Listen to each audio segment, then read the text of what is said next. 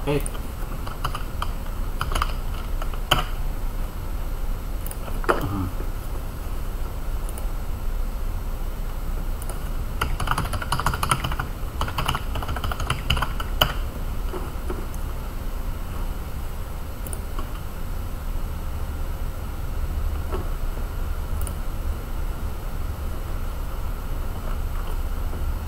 Okay, kamusta po yung aking audio po?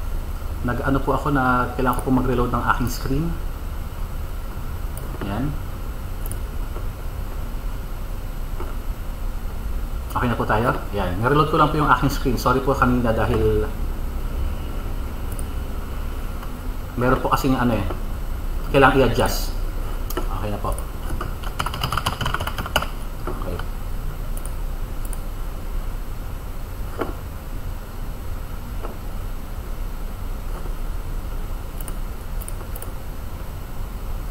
Ayan. Okay, so let's continue na po, no? Hi, good afternoon again. So for this afternoon na po, ang ating i-cover is yung ating Google Keep, Google Sheets, and Google Docs po. Ah, Google uh, Slides. Okay? Ayan. So, visible po ba sa akin yung ano? Yung aking Google Drive. Again, Google Drive is your storage po. Yan po ang inyong ah, pinupuntahan para makapag-store po tayo ng mga files po natin. And again, yung ating Google Docs is yung word processor po ng ating ah, Google Sheets po. Okay?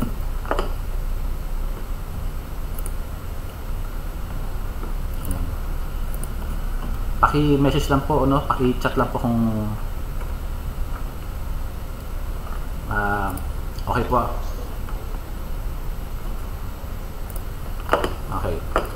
So, again, I will open po yung ating Google Keep. Doon tayo nahinto kahapon. So, to open po is keep.google.com.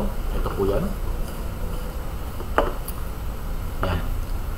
So, again, your Google Keep is a note-taking app po siya na ginagamit. Mas ginagamit ko po ito compare po sa Google Docs. Kasi unang-una, parang portable po siya sa mobile phone eh. So, lahat po nandyan. Lahat po ng ating mga records, pwedeng isync po sa inyong Google uh, Calendar. Okay? So again, if you want to take po ng inyong note, all you have to do is i-click lang po itong take a note po na box dito. Lang, mag-add lang po ng note title. So kunwari po, uh, grocery list. Ayan. Okay? So, pwede po kayo mag-add dito ng any uh, notes po. Okay? Kailangan ko ma-delete. Okay? Ayan. So, you can also add po dito ng uh, list. Okay? Pwede po kayo mag-add ng list dito. Ito po, using show check boxes po.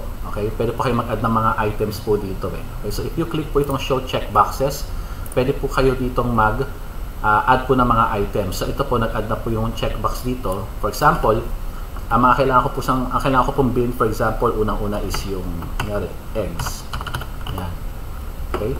Just click lang po dito sa second item. Pwede po tayo mag-add kunwari ng chips. Yan notice nag-o-offer po ang Google Keep po ng mga parang options po dito na pwede nyo pong magamit o pwede nyo maselect agad. So chips tortilla. Okay?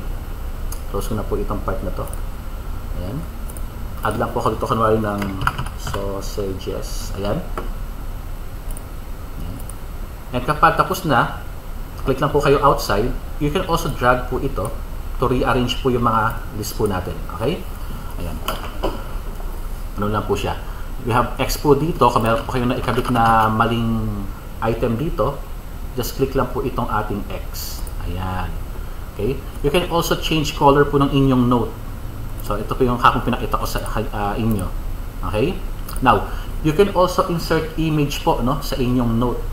So we have here add image. If you click, again, magbabrowse po yan sa inyo pong folder. Kunwari itong picture ng cat na lang. I-open ko lang po siya. And you see, meron po tayo dito ang image po ng cat.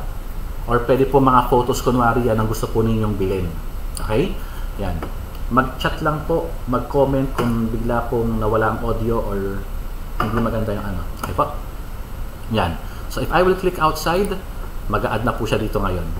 Okay? Ganun lang po siya. Now, what else? Ano pa pwedeng gawin dito? Uh, you can also take, add a note na meron pong drawing. Okay? So, pwede po kayong mag-add ng drawing. Ang drawing po, pwede kayong mag para kung merong support po na parang pen ang inyo pong mobile device. Kunyari, ano yan, may parang graphic pen. Okay. Kunyari, signature. I-click ko lang ito and I will add drawing. Yan. Yan. So, meron kayong options po dito. Options na maapili po ng klase po ng marker po ninyo. And you can start uh, draw po na kung ano-ano dito. Scribbles po kayong bahala dyan. Okay? So, we have erase dito. Yan. And iba't ibang klase ng pen. You can also enable po yung klase po ng paper. Pwedeng may grid, pwedeng may dots. Ganyan po siya. May rules. Yan. Okay. Yan. Pag okay na po yan, just click back lang po ito. You can explore po ito. Ito po mga eraser lang naman po ito. Clear page, we have here the undo. Once done, just click lang po itong back button and maloload po yan doon sa inyong uh, Keep, Google, uh, Google Keep po. Okay?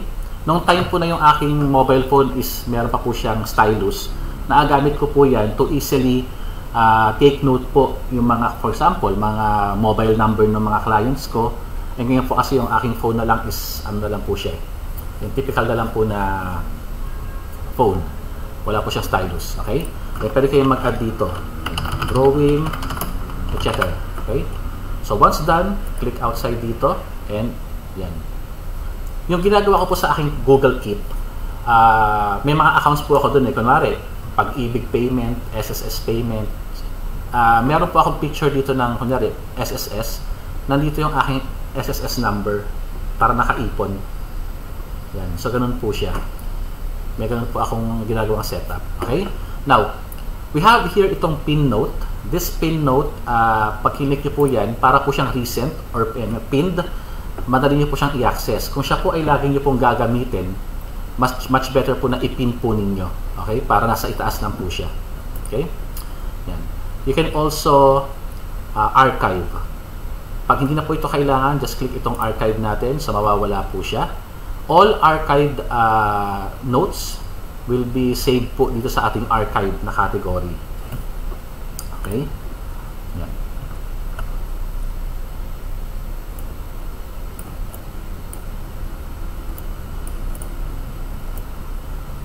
Okay? So, lahat po ng ating uh, archives po may ipon dito. So, if you click po itong archives, yan, notice po dyan na uh, meron po kayo dyan makikita ano, list po ng mga naka-archive na. Ayan. Okay. So, click lang po ito. Ayan. Kung gusto nyo po siyang totally uh, archive, ayan. Pwede nyo po siyang i-unarchive po. Pwede nyo po siyang i-restore. So, pag kinig nyo po yan, ayan. Okay. So, notes. Going back dito. So, ano pa yung pwedeng gawin po sa inyong uh, Google Keep po? Okay? Pwede po kayong mag-create po ng copy po niya. Kung ayaw niyo pong ulitin po lahat ng information dito, just click make a copy. Ayan. So, kukunin po niya yung information dito and pati po yung image. Okay, ayan po siya. If you want to remove naman po yung photo, o yung image, just click inside po dito and we have here yung remove button po para matanggal yung image na yun. Okay? Yan. So, pwede ko siya uling, kung hindi ko siya gustong gamitin dito, pwede ko siyang i-delete na yung note na yan. Okay? Delete note, lahat po yan maiipon po dito sa trash. Yan. And we have 7 uh, days po para po uh, ma-restore pa siya. Kung hindi, totally po siya ma-delete. Okay? So, inside po ng ating trash, we have here po itong delete forever and restore then.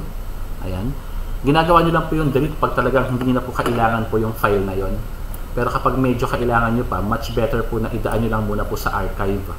Kasi po, ano yan eh, uh, baka i-restore nyo pa. Pero pag talagang hindi na kailangan, trash lang po yan, din empty trash. para totally. Yan. Empty trash, all notes in trash will be permanently deleted. Empty. So, tanggal na po siya. Okay? Ayan. Notes. Going back po sa notes dito. Pwede po kayong mag-list view or mag-thumbnail view. Ayan. Pag thumbnail, ay, pag list view, medyo malaki po siya. Kapag thumbnail view or grid view, mas maliliit po siya.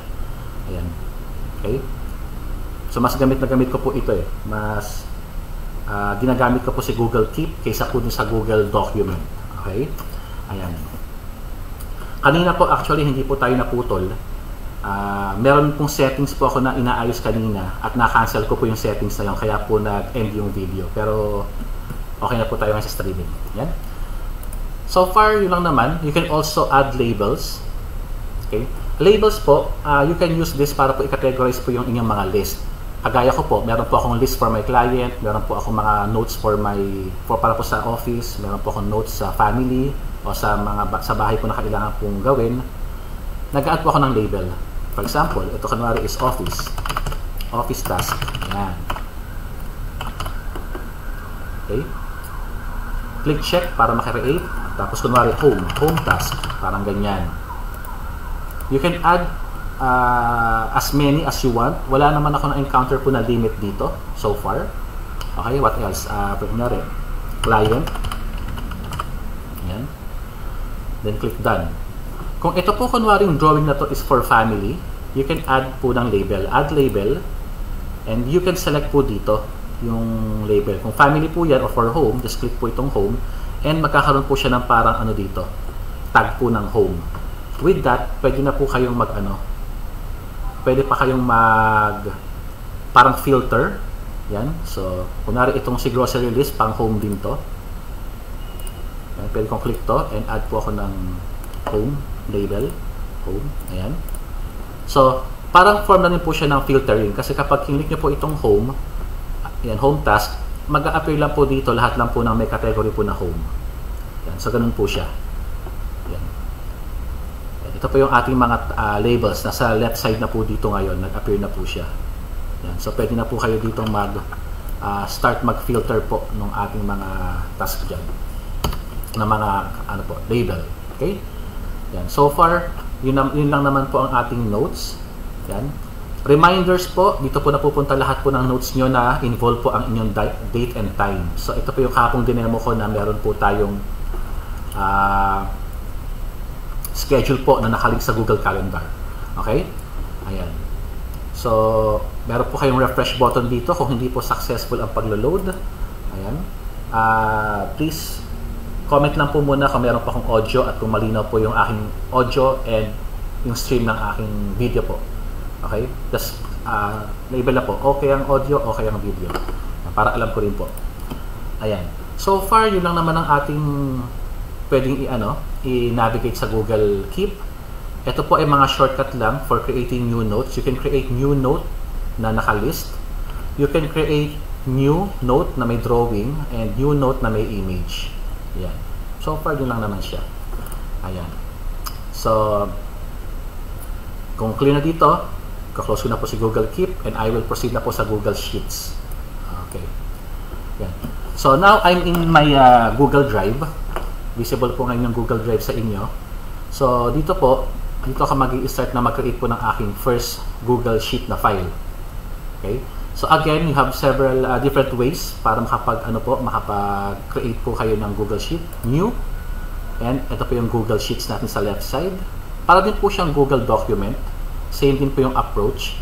Yan. Pwede rin po kayong gumamit sa ating pong URL. If you recall yesterday, yung doc, docs.new. This time, you can type here sheets. Sheets.new. And it will open po yung blank sheets po or Google Sheets. Ayan. So, ayan po, nag-open na po sa akin. Okay. So, ito po yung blank. Or, If you use po itong si new Google Sheets, you have option here for blank or from template. So para din po siyang si Google Document from template, uh, pwede po kayong mag-create ng template dyan and just modify lang po yung content. So I will click uh, blank spreadsheet. Okay? Now, bago ko po ginagawa ito, ang practice ko po talaga is nag-create muna po ako ng folder.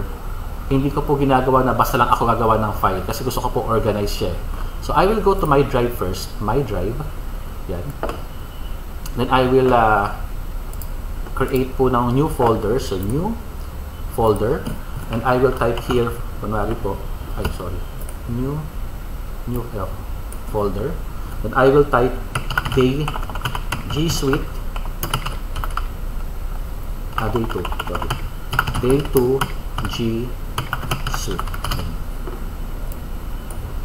mamaya po baka mag ano po ako ah, extend po ng kaunting minuto.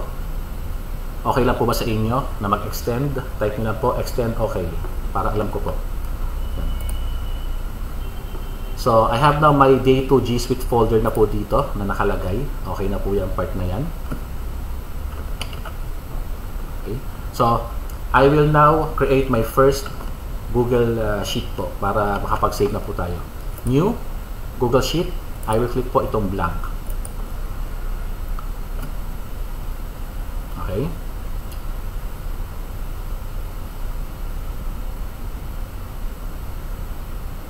Loading na po yung aking uh, Google Sheet ngayon.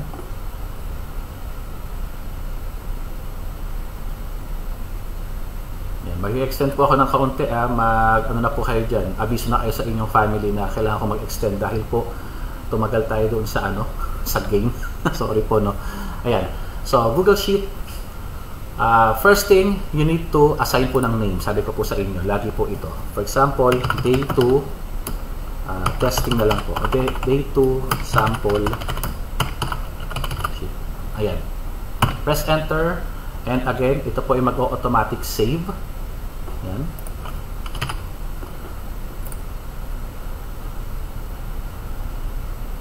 Mag-automatic save po yung ating uh,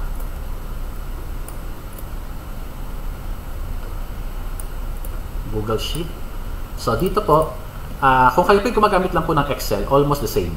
Okay, wala pong problema dito. Halos parehas sa parehas lang po sila. You have here yung inyo pong columns, label po ng uh, letters, And we have here po yung rows po ninyo na nakalabel po ng numbers. Ganun lang naman po yan. And lahat po ng mga squares dito is yung cell, yung meron pong highlight na blue, that is your active cell kasi kiniklik po natin siya. You can uh, select po yung cell by simply uh,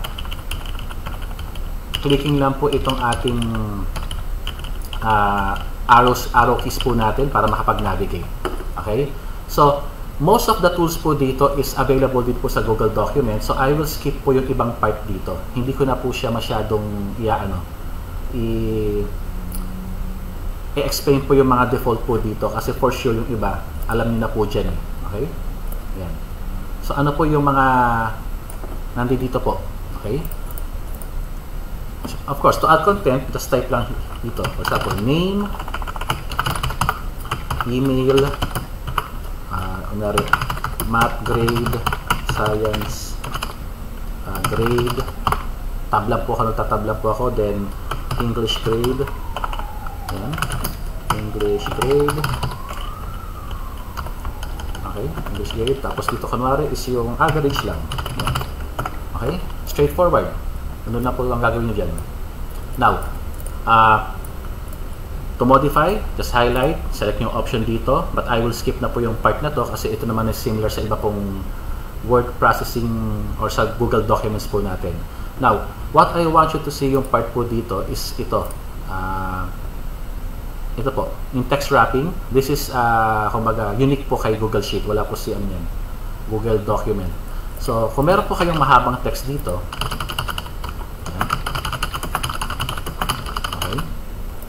If you click po sa part na to, yan, ito po is text wrapping, naka parang overflow po tayo. Sabihin lagpas po. If you click po itong wrap, wrap lang po siya.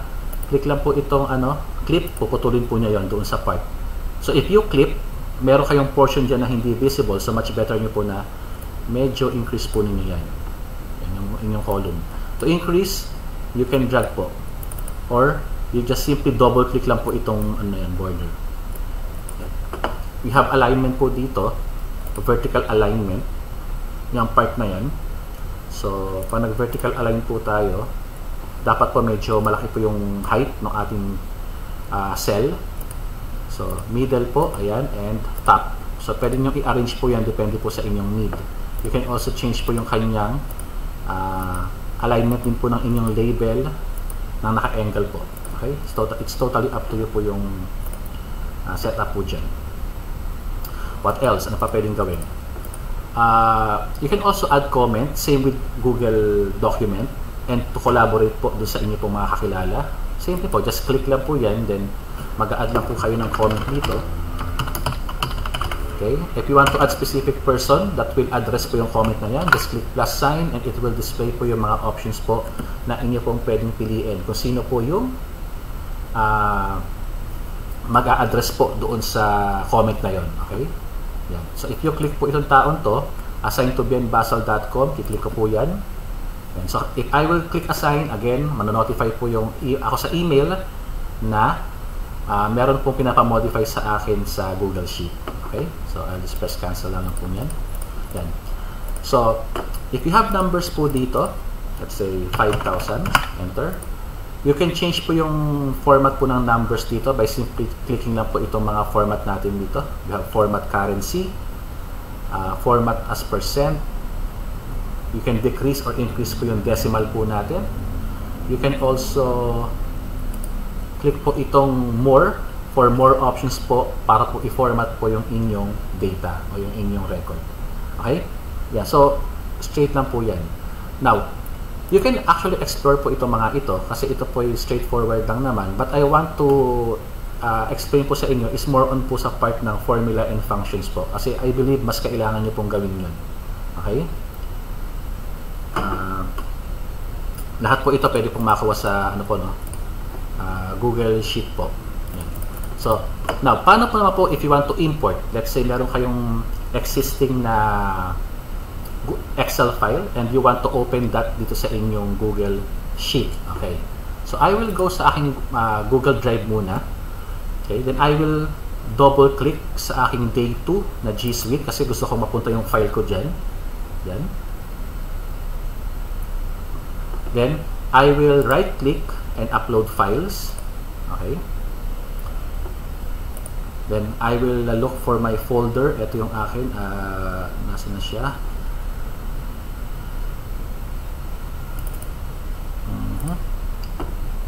ito, day 2 data. Now, notice, ito po yung Excel file.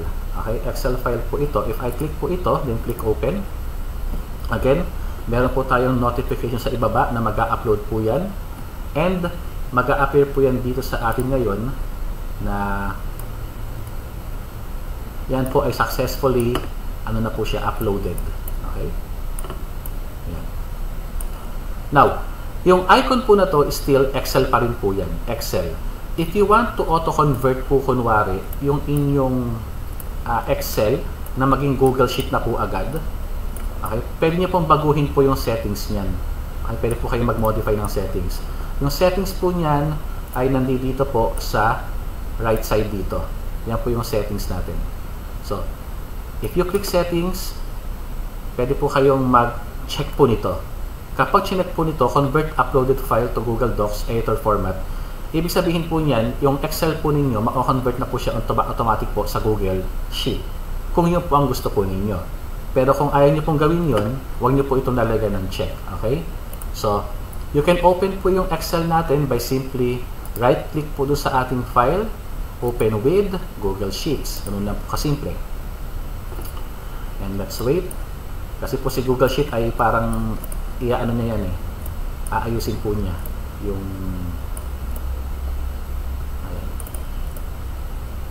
Okay, so visible po ba sa atin?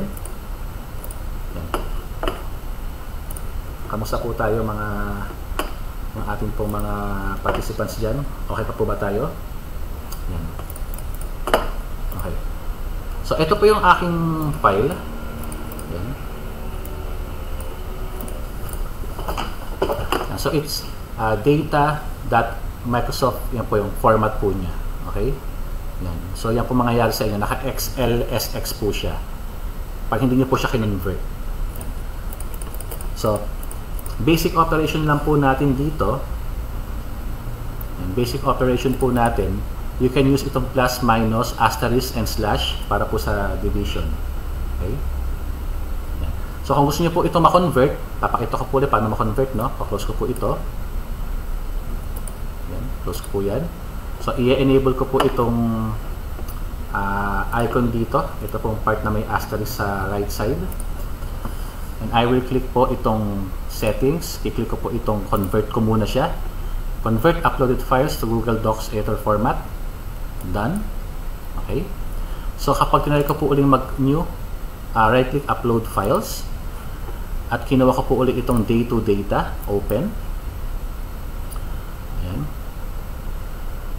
So medyo meron siyang ano, uh, ayun, done na. And so notice po yung difference po ng dalawa nung after ko ma-upload. Iba po yung icon. Ito po yung icon po ng Google Sheets at ito po yung icon ng Excel. Ayan. So, yun po ang dif uh, difference po ng dalawa na yan. So, right click ko siya.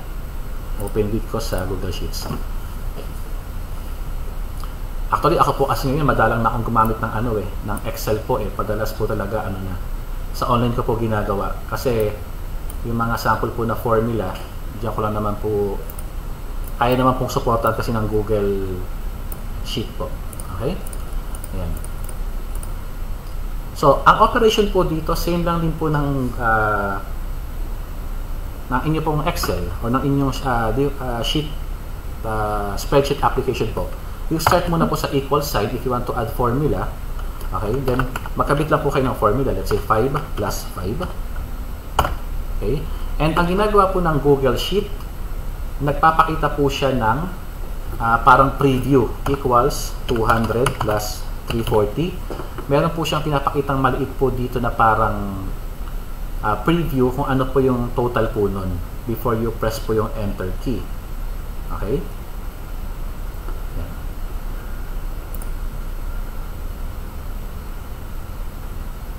And yung mga may question po mamaya na hindi ko po na-address dito sa video, later po, ipopost ko po sa group kagaya po ng ginawa ko po kagabi. Okay? Ayan. So, I will press the enter key. Ayan. Noon na po siya. Now, ang problem po dito, 5 plus 5 is an absolute value. Uh, yung inyo po dapat mga formula ay naka-relative o nakadepende po sa cell. Okay, sa cell active cell. So, same din po ng ibang spreadsheet. Okay? Type lang po yung equal sign and i-click nyo lang po kunwari itong cell So that will be A3 kasi ito yung ating A column, third row. Yan. So yung iba po ginagawa, tinatype po nila. Yan. Pero ni-discourage ko po yan kasi po kapag typing ay baka magkamali. Just click na lang po yung cell. Then type po yung operation natin which is add. Click yung second number or second cell. Si B3 na may value na 10. And press enter key. Ayan. Okay po.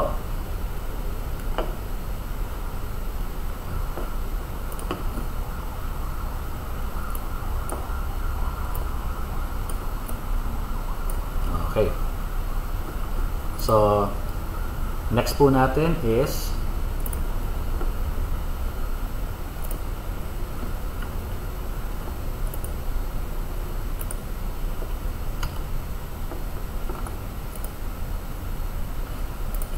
So, same din po. To divide naman po, equal sign lang po yan. Click lang po natin yung number ulit.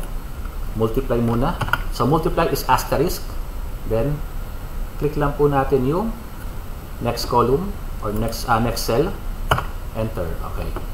And last one cell slash for divide. Click yung next cell then press enter. So ganun na po kasimple mag formula po sa Google Sheets. Okay. Now sa part po sa baba dito sa lower part po ayan we have here different ano po yan actually mga different sheets po yan eh worksheet po nila natin. Okay So, you can add po ng sheet by simply clicking lang po itong plus icon dito. Mag-add po yan. So, meron na po kung mga existing. But by default po yata, parang tatlo lang po ata yan. I'm not sure. So, pwede nyo po siyang i-check. Ayan. Here, we have here the all sheets. If you click, nandiyan po lalabas lahat po ng mga sheets na kinreate ko po. Ayan, ang dai-dai po niya. Ayan, yan po yung mga formula na kailangan ko pong ipaliwanag sa inyo. Yan. Okay? So, kaya po tayo mag extend So, uh, wag po kayong magalit kung mag extend po tayo ng kaunti. Yan. So, clear po ba ito? Yung ating basic operation? Yan, simple lang po yan. Okay? Now, uh, another thing po pala, no? Dito po sa ating mga sheet po sa ibaba o yung mga tabs, yung mga sheets natin dito is naka-label po ng tabs yan. Naka, naka-tabs na naka-label po yan. You can rename po ito. Right-click, you can rename po siya. Depende po sa purpose ng sheet na yon. You can also change color, you can duplicate and pwede nyo po itong i-copy sa bagong spreadsheet o sa existing na spreadsheet kung meron po kayong ano, uh, Google Sheet na existing. You can also hide. Kapag hinide nyo po dito yung isang uh, sheet, mag, magiging visible lang po uli yon if you click po itong ating all sheet and i-click nyo lang po ito. Yan. So, doon lang po siya babalik. Okay? Naka-hide lang po siya dito sa inyong mga tabs pero visible po siya dito sa uh, list po natin. Okay? Ano pa kailangan i-navigate dyan? Sa right side po dito, if you move sa right, we have here po itong navigation po. Left and right po, scroll left, scroll right, uh, right for you to see lahat po ng available po na uh, sheet. Okay? Ayan. So, clear po ba sa atin yung ating setup po dyan sa ating Google Sheet na tab. Inaayos ko po yung ano eh, screen ko para po nag-zoom sa inyo. Okay. So next, yan. ano pa po yung mga useful uh, function po na pwede nyo magamit dito po sa ating Google uh, Sheet? Okay? Yan. Another po is paggamit mo itong trim. Yan. So, meron po ako itong tab po sa baba. Ginawa ko lang po siyang trim.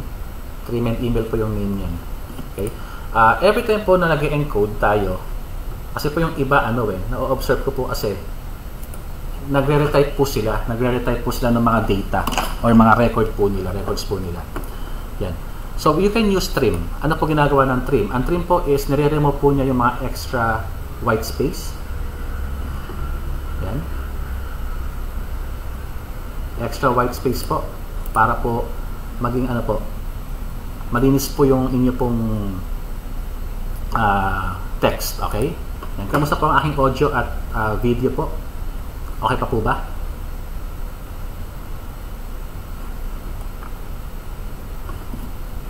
Yan.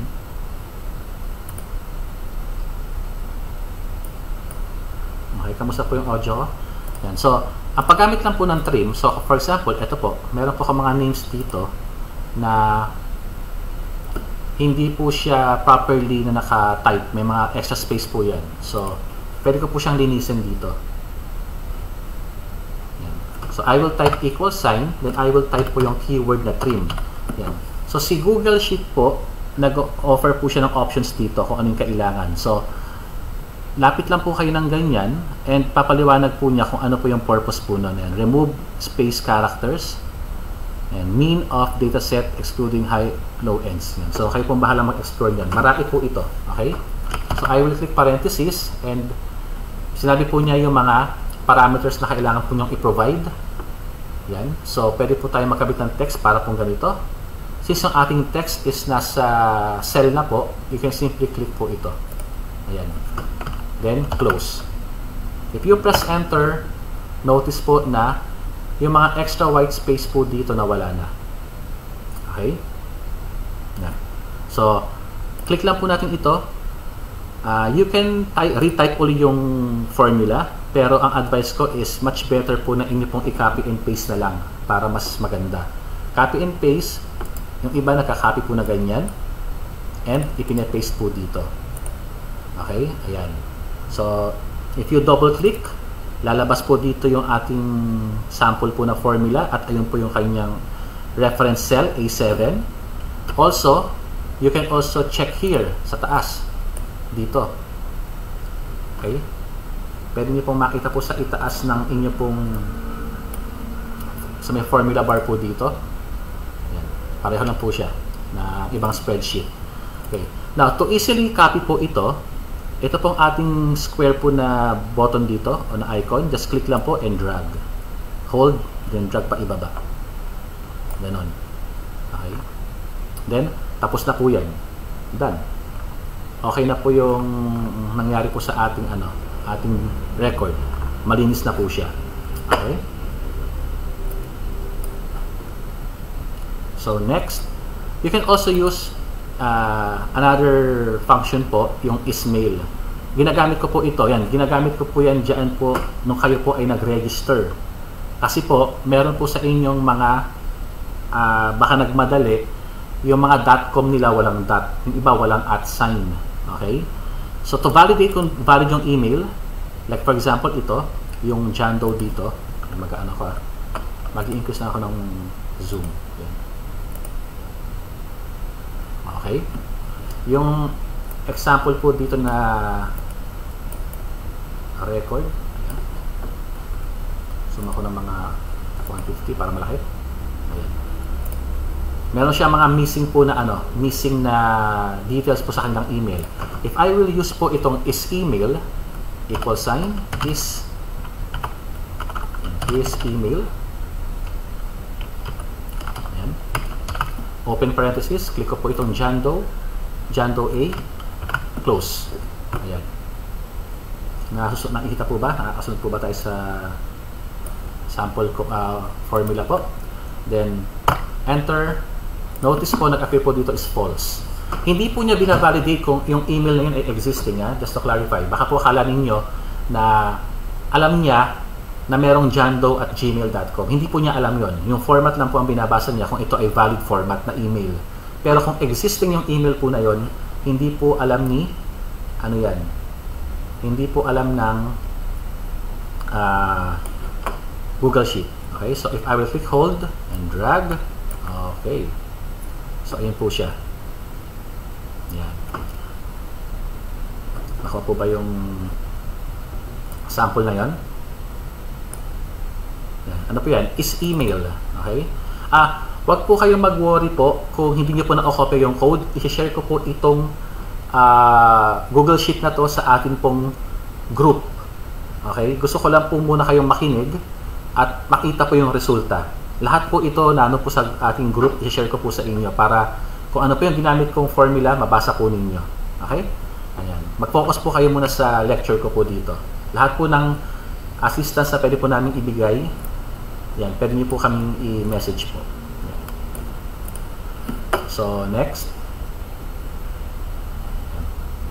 Ah, kung medyo malabo po yung aking formula, yung is email, hayaan lang po.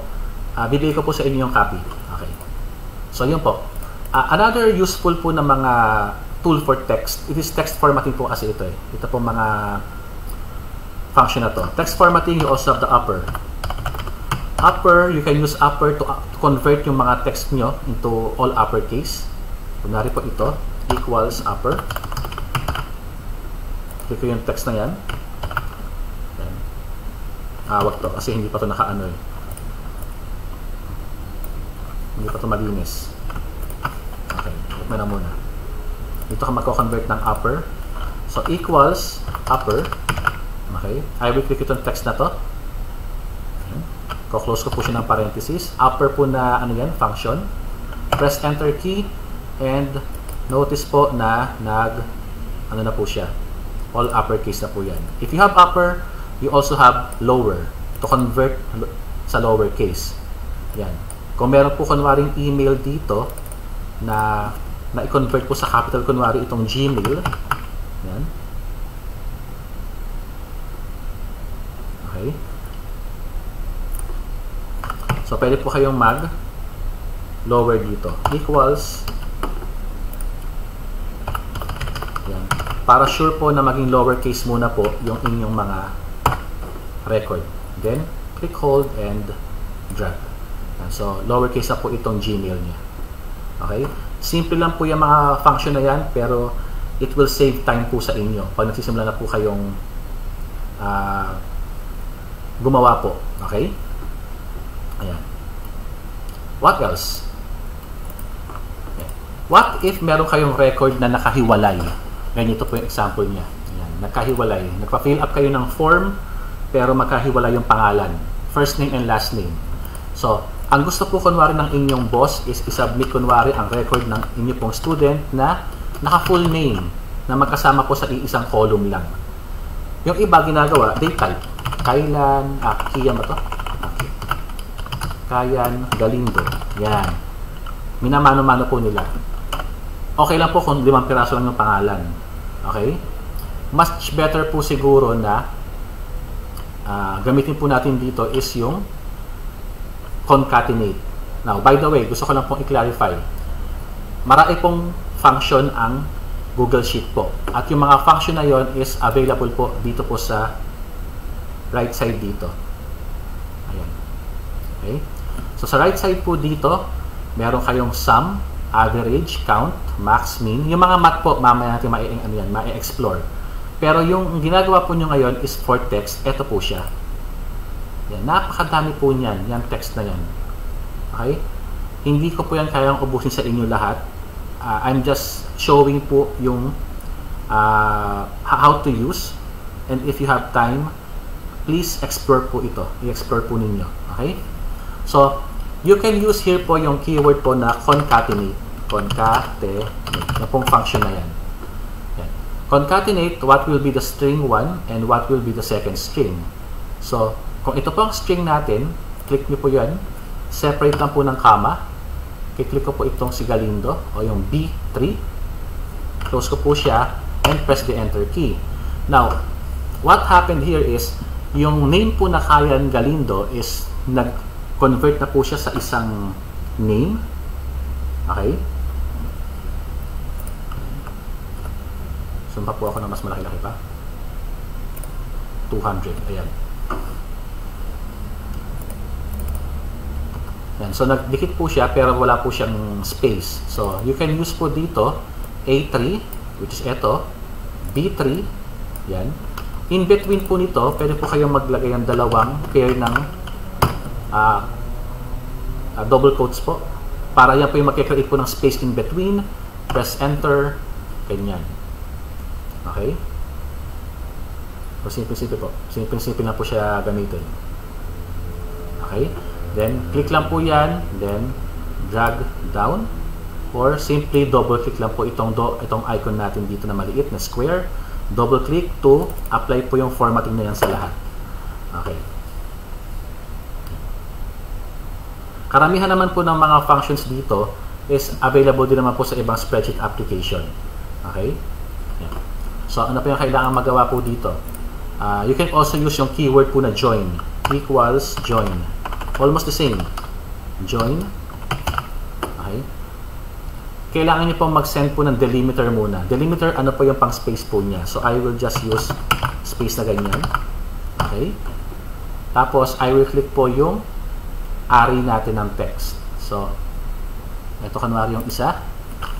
Tama. Ito yung pangalawa. Close. So, ito yung ating delimiter. Ito yung i-connect natin mga strings. Nasa cell A3 and B3. Yan. Thank you very much kung nag-enjoy po yung iba sa inyo. Uh, practice lang po tayo. So ano po yung pinaka-major difference ng dalawa? Sa concatenate, pwede po kayong magkabit ng iba't ibang separator po dito. Pwede kunwaring ito ay X or comma, parang ganyan. And you can add another separator po dito Parang ganyan. Sa join, hindi na po. Space lang po talaga. Yan. So, it's up to you. Uh, kailangan niyo pong piliin kung alin po ang gagamitin po ninyong function para po ma-perform po ninyo kung ano yung kailangan niyo pong ilagay sa record po natin. Okay? Nice. So, next po natin na formula. Yan. Kasi ito po yung mas kailangan po ninyo. Ah, you can explore po yung mga tools dito eh. I-click nyo na po, lalabas po yung effect eh. Pero po yung formula, magamit nyo po ito sa school. Okay? Next is yung paggamit po ng character Unicode. Yan. Mahirap pong maglagay ng bullet sa, sa sheet. Okay? Mahirap pong maglagay dyan. So, you can use po itong Unicode para makapagkabit po kayo itong mga bullet po na to. Okay? So, paano po makapaglagay dyan? Uh, you need to use ito pong car or char function po natin. Okay? Pero, eh, ano po yung Unicode? If you will go to Google muna po, google.com, and I will search po yung keyword na Unicode. Yan. So, meron po tayong mga list po kasi ng Unicode. Ko tayo ng isang example. Kailangan po nyo makuha kasi yung meron pong number po. Yan. Ito sa ano po, Wikipedia. Ang ginamit ko na lang. Kung meron siya dito.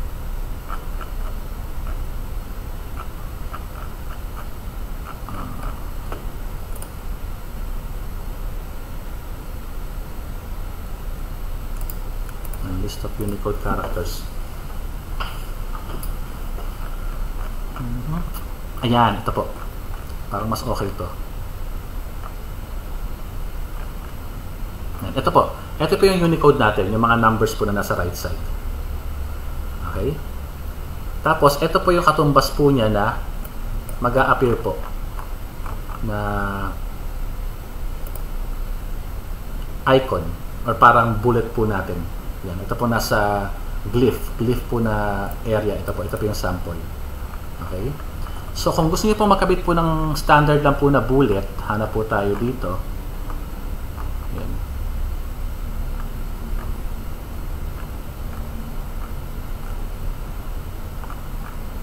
Ito po.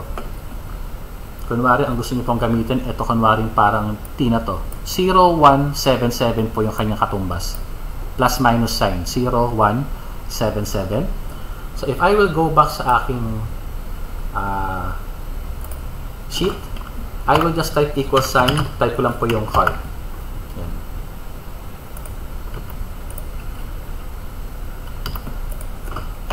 card. Tapos kukunin ko po yung number na to. 0177 lang po. 0177 yan. Pag-enter ko po sa kanya, ayun po yung plus minus nag-appear. Medyo may kaunting delay po yan ha, kasi po nagre-render pa po siya eh. Ano po kasi ito, web-based po kasi. Yan. So lalabas po dito yung plus and minus na uh, bullet kasi yan po ay nag-base po dito sa ginamit po natin. Now, how to connect? Paano nyo maiko-connect ngayon itong text? So, I will just double click. Uh, dito sa pangalawa, next sample. Uh, 177. So, again, equal sign car 177 for the Unicode. I will type ampersand. Ampersand po is to connect string. Okay? Then I will select po ito. Up, double quote muna po. Double quote, space double quote. Yan. Then I will click. So, ito pong si car will create yung bullet po ninyong plus equals, plus minus. And nagko-connect po tayo ng space dito bago po niya pa-appearin or display itong burger. Yan. Enter. Okay. So, I can now apply po ito. Yan. Nakuha po ba yung part na yan? So, madali na po siyang gamitin. Okay. So, next po natin is sum. Yan. Yun po yung mga example po na pang text na pwede po ninyong magamit. No? Pero again, if you explore po itong ating text dito na mga formula, napakarami po niyan. Ito pong length, commonly used po yan, it counts po yung length po ng string natin. Okay? Yan. So, I will now move sa next. O muna po ko. Yan. For text pa rin po muna uh, let's say meron kayong ginagawang record po na kailangan nyo po ng translation po doon sa inyong mga text na yan. Ang common po na ginagawa natin, we visit first Google, Google Translate, tatype tayo ng word doon kung kayo gumagamit. Yan. Tapos tatype po kunwari dyan, uh, ano yung from English spaghetti, ano yung kanyang Spanish na katumbas o yung kanyang Hangul sa Korean. Okay? Yan. So, yan po ang magiging issue po natin kasi mano-mano po yan. But in Google Sheet, no need na po pumunta sa ibang sa uh, panibagong browser just to translate. Okay? I will just type equal sign and type Google translate. Ayan po, oh. Translate text from one language into another. Ayan.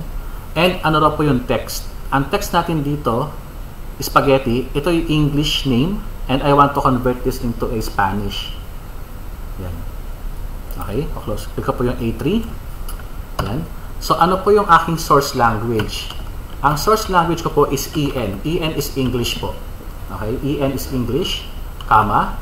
And ang Spanish po is uh, SP po ba? S, ES po ata. ES ang Spanish. Okay? Yan. So, nagpost ako ng konti. Google Translate ko po si spaghetti, which is an English word, kunwari. Tapos, i-convert niya into Spanish po na word. So, if I click enter, know, loading po, oh, spaghettis. Wow. So, if I will click, hold, and drag, ayan. Loading, loading, loading. Ayan, oh, queso, pa paper, papel, beer, cerveza, bread, unpan, coffee, cafe. Meron siyang mga ano, anong tawag dyan? Uh, hindi ko pitch pa tawag. Basta yung tumataas yung tono ng boses. Yan. Leche, milk. Yan. Computer, comput, computadora. Ayan. Thank you. Gracias. So, yan. Another example. Hangul is Korean. Yung mga nagko-Korean dito. Nag-Hangul, no? Yun yung asayo, mga ganyan. So, again, Google. Google Translate. I will click yung same word na yan. Okay? Tapos, English pa rin po yung word na yan eh. Gusto ko siyang i-convert sa uh, KR. Korea. Loading. Ah, error to. Baka hindi KR. Baka KO. KO Korea. Yan. Yan. Hindi ko na to kayang basahin sa inyo. Kasi iba na po yung character. So, ayun. Thank you ma'am. Accent po pala yung tawag doon. Accent. So, ito po, Hangul na po siya ngayon. Korean character. Click, hold, and drag. Pababa. So, lahat po ng words na kailangan nyo i-convert. If you're teaching language po, wala na po kayong problema po dyan. Yan. Okay? Please comment po, meron pa po ba akong audio sa inyo? Yan. Clear po ba? Clear po ba ang audio? Clear po ba ang streaming? Yan. Okay. So, yung nag-aral po ng Korean language po dyan, mababasa nyo po yan. Yan. Ito alam ko to. Sure ako computer to. Computer basa dito kasi dahil dito eh. yan. Okay. So, we're done po sa Google ah, Google, Google Translate. Ayan. Now, nauso po ngayon yung paggamit po ng QR code eh. Gusto ko po itong i-share sa inyo. QR code. Uh, Mag-zoom out lang po ako. 150. Okay. Ah, uh, ito medyo technical po na kaunti, no? But still, for text pa rin po ito. Marami pong website na nag-offer po ng conversion po ng mga data na maging Google, ah maging Google, maging QR code po yan. QR code, para po siyang barcode. Minsan ginakabit po sa, o sa ID, o sa mga, let's say, documents, depende po, no? Now, si Google po, kaya po niya mag-generate po agad ng uh, ah, QR code. So, all you have to do is supply lang po yung information na kanyang i-convert. So, dito, uh, medyo technical po yung part na to kasi gumagamit na po tayo ng Google API. Ito po yan. Ito na po yung buong code niyan. Ginawa ko na po para sa inyo. So, paano po ginagamit yan? Ikakopy ko po siya. Okay. Copy. So, ito po yung mga sets po ng websites. Actually, ito yung, uh, ito yung website kung saan ako nag-work po. Yan. Foreign Service Institute.gov.ph Okay. If I will click po dito, ayan, I'm using image function po. Image function. Okay? Ito pong A3, ito po dapat yung cell na kanyang bibigyan po ay ko-convert into QR code, which is ito po yan. So, make sure lang po tama. So, I will erase and click po ito. Ayan. So, tama po yung aking reference. Image. Tapos, I'm referencing yung A3. So, if I press po yung enter, ayun po, oh, nag-create po siya ng QR code.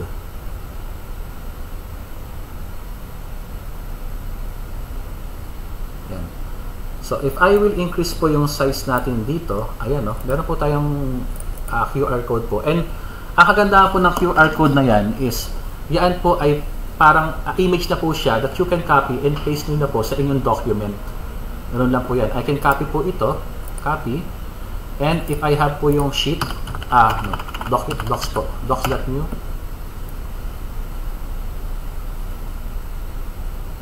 Yan din po ang kagandahan po ng mga web-based po na application. And I will click paste. Ayan. Maglo-load po siya and you can use na po yung QR code na yan. Yan na po ay valid QR code na. So, pwede magamit sa ID. Kasi yung iba ang ginagawa pa po, ano eh, magta-type ng mga parang item numbers, tapos pupunta sa isang website, i-convert sa QR code, tapos nahihirapan sila sundan ito, parang part, parang siyang database na po siya na lahat po dito sama-sama na. Yan. So, if I will click and drag po yan dito, magagawa po ng isa pang ano pa yan, QR code.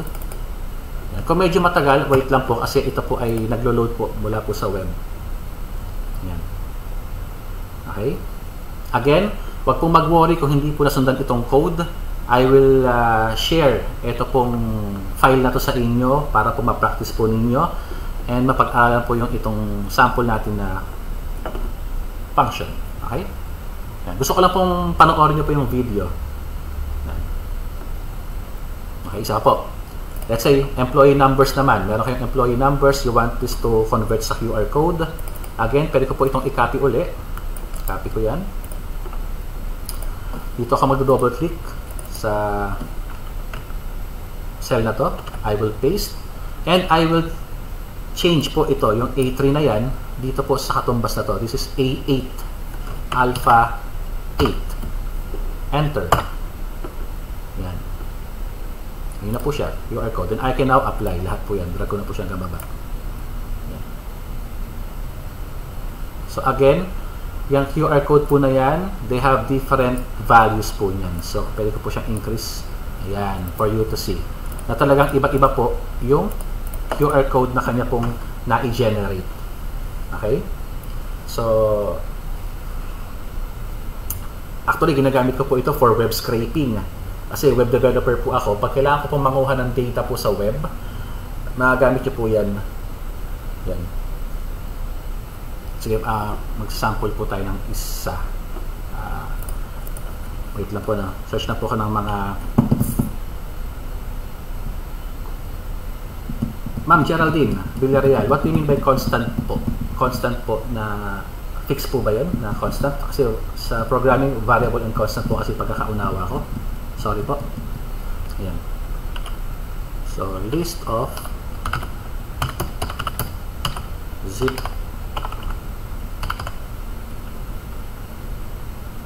Yes po, reference lang po. Zip code in the Philippines. hanap po tayo ng may zip code. Kasi po, kunwari, sinabi sa inyo ng boss nyo, okay, uh, kailangan nyo ng mga zip code. Ito, check natin ito. Kailangan nyo kunin lahat ng list ng zip code sa Philippines. Ito. Yan. So, ito po yung example ng yan, Caloocan City North, Caloocan City North, North, North, marami po ito eh. So, ano ba ito? Yan. Okay. Ito po, little bit technical. Yan. Papakita ko na lang po sa inyo pero hindi ko po i-explain masyado kasi po ito ay medyo complex po kasi ito ay dapat nakakaunawa po kayo ng web development po. Okay? Ayan. So, ito po yung URL niyan na ano. Okay. Kunin ko lang po yan. Copy. Para po makuha ko po yung mga data at magamit ko po sa aking sheet. Uh, Laravel po, wala pa po, planning pa lang po sir sa Laravel. Ayan. So mag-open ako ng new sheet. So, kunwari po, ito kunwari yung uh, city, location, and zip code. Ito kunwari ay city, location, zip. Ayan. So, ang gagamitin ko po dito is equal sign, mag-import na po ako. Import XML. Ayan. Import data. I-paste ko po dito yung website na kukuha na ko po ng data. Ayan. Tapos po, kailangan ko lang pong ikabit yung kanyang table data po ng HTML. Enter.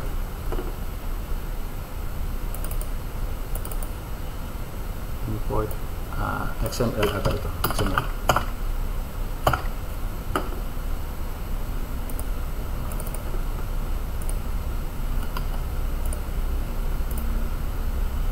Ayun po. Nag-appear na po siya. Ayan. So, iyan lang po yung kinabit ko. Ito lang po yung kinabit ko po na value. And, kinuha po niya lahat po nung, marami po ito ah. Ayan o. Oh. Automatic po nag-appear.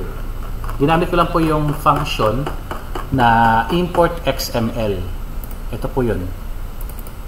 Yan. Okay import XML lang po yung ginamit ko and uh, nire-reference ko lang po yung table data. Yan, table data kung kayo po ay nag-HTML, uh, yan po ay part po ng tags ng HTML. So, hindi ko kailangan magsulat ng pagkahaba-haba. Yan, at least ito, siya, siya na po kumukuha ng record para sa akin.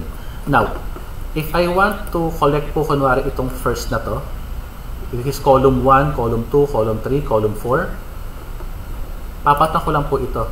TD, bibigyan ko lang po siya ng array na, let's say, 1. First column. Enter. Loading po uli yan and kukunin po niya lahat po ng cities. Okay. So, lahat ng cities na yan, gusto kong makuha yung second column. Gusto kong kunin lahat ng cities, ah, location. Loading. Yan. And, ano yung zip code niyan? I-paste ko po dyan. Kunin ko lahat ng zip code sa column 3. Loading. Imagine, wala po akong kailangang i-retype. Wala po akong kailangang i-copy and paste. Yan. Wala po akong kailangang ano, uh, ulitin i-gawin or i-type po. Yan. So, very useful po siya. Okay po. So ano pa yung mga ibang formula po na pwede niyo mapakinabangan?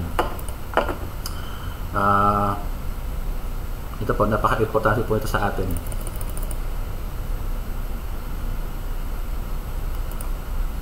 Babalik na po ako sa ating ano.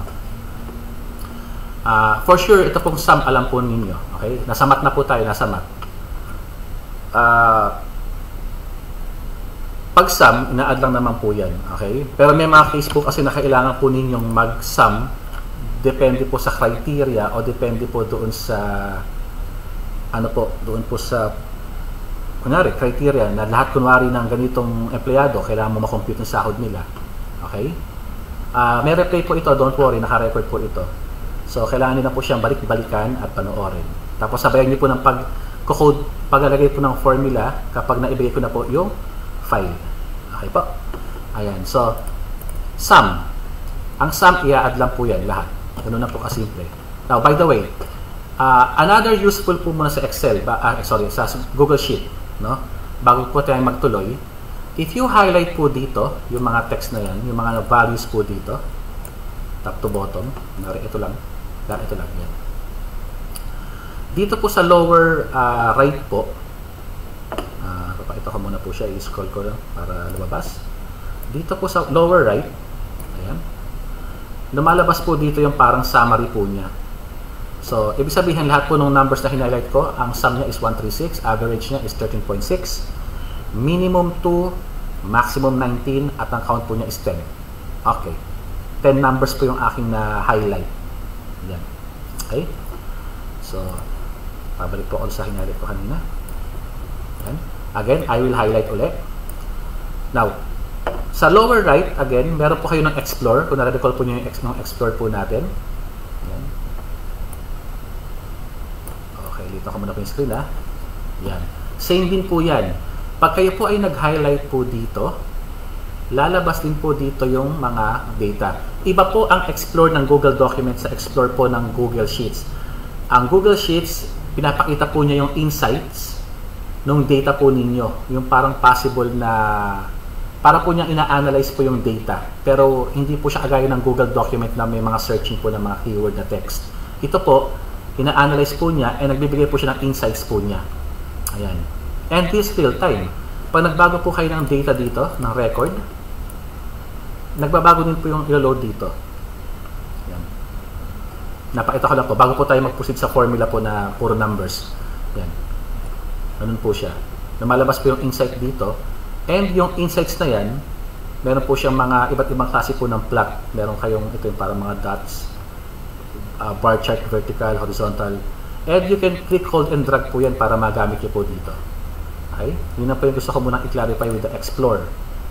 Yung part po na yan. yan. Okay po.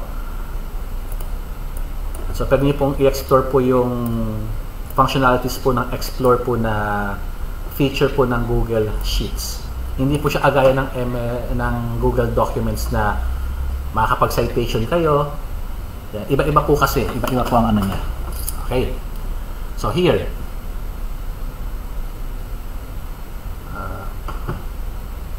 348 na.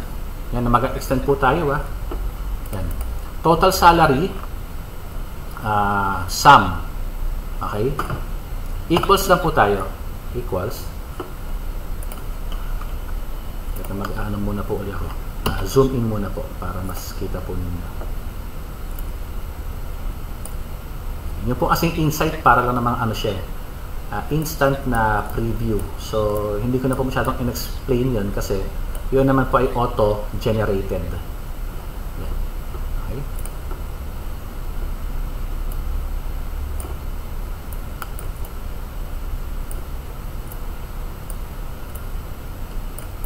Okay, na po. Zoom na.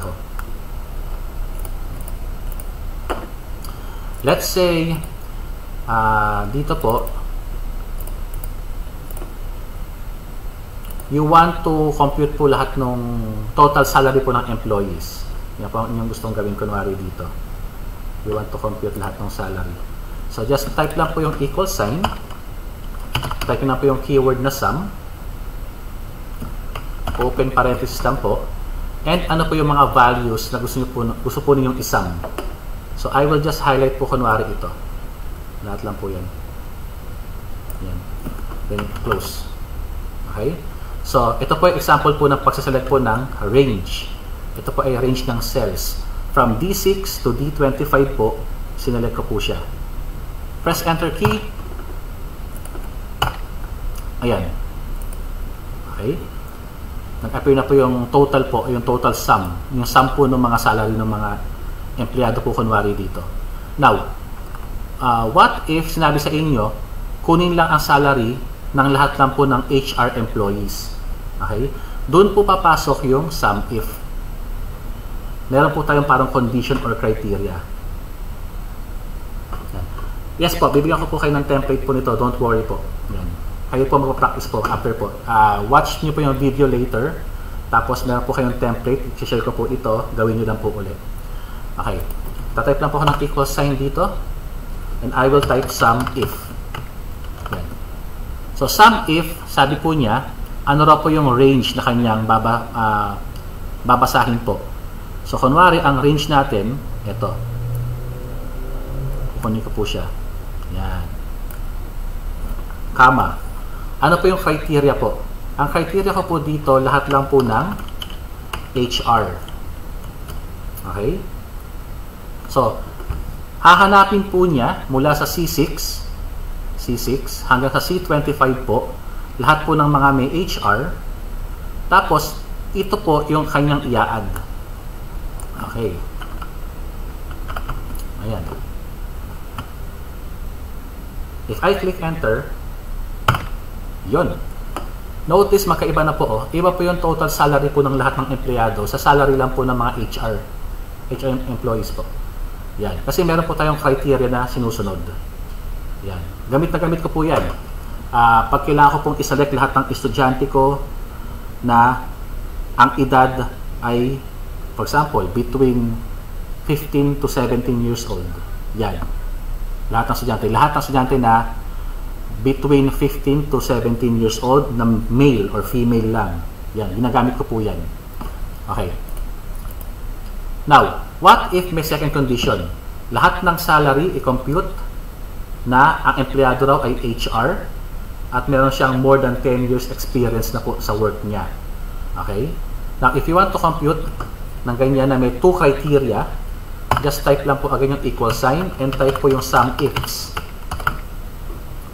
Sum ifs po is, i-add po niya yan based po sa criteria. Pero dito po, baliktad. Pipiliin nyo muna po, you need to select first yung column na i-add po ninyo bago po kayo mag-set ng criteria. If you notice po dito, sa, sa sum if, if ah, wala pong S, sum if, kinuha ko muna po yung column at yung criteria bago siya nag-add. Pero po sa sum ifs, equals sum ifs, kukunin muna po niyo yung i-add na column bago po kayo mag-set ng mga criteria po ninyo. Okay? So, I will highlight po na po yung column na i-add. Okay, column. Ayan. Kama. Tapos, ang aking first criteria, ito, yung column na yan, hahanapin ko lahat lang ng HR ng empleyado. At sa second column ko dito, kukunin ko dyan yung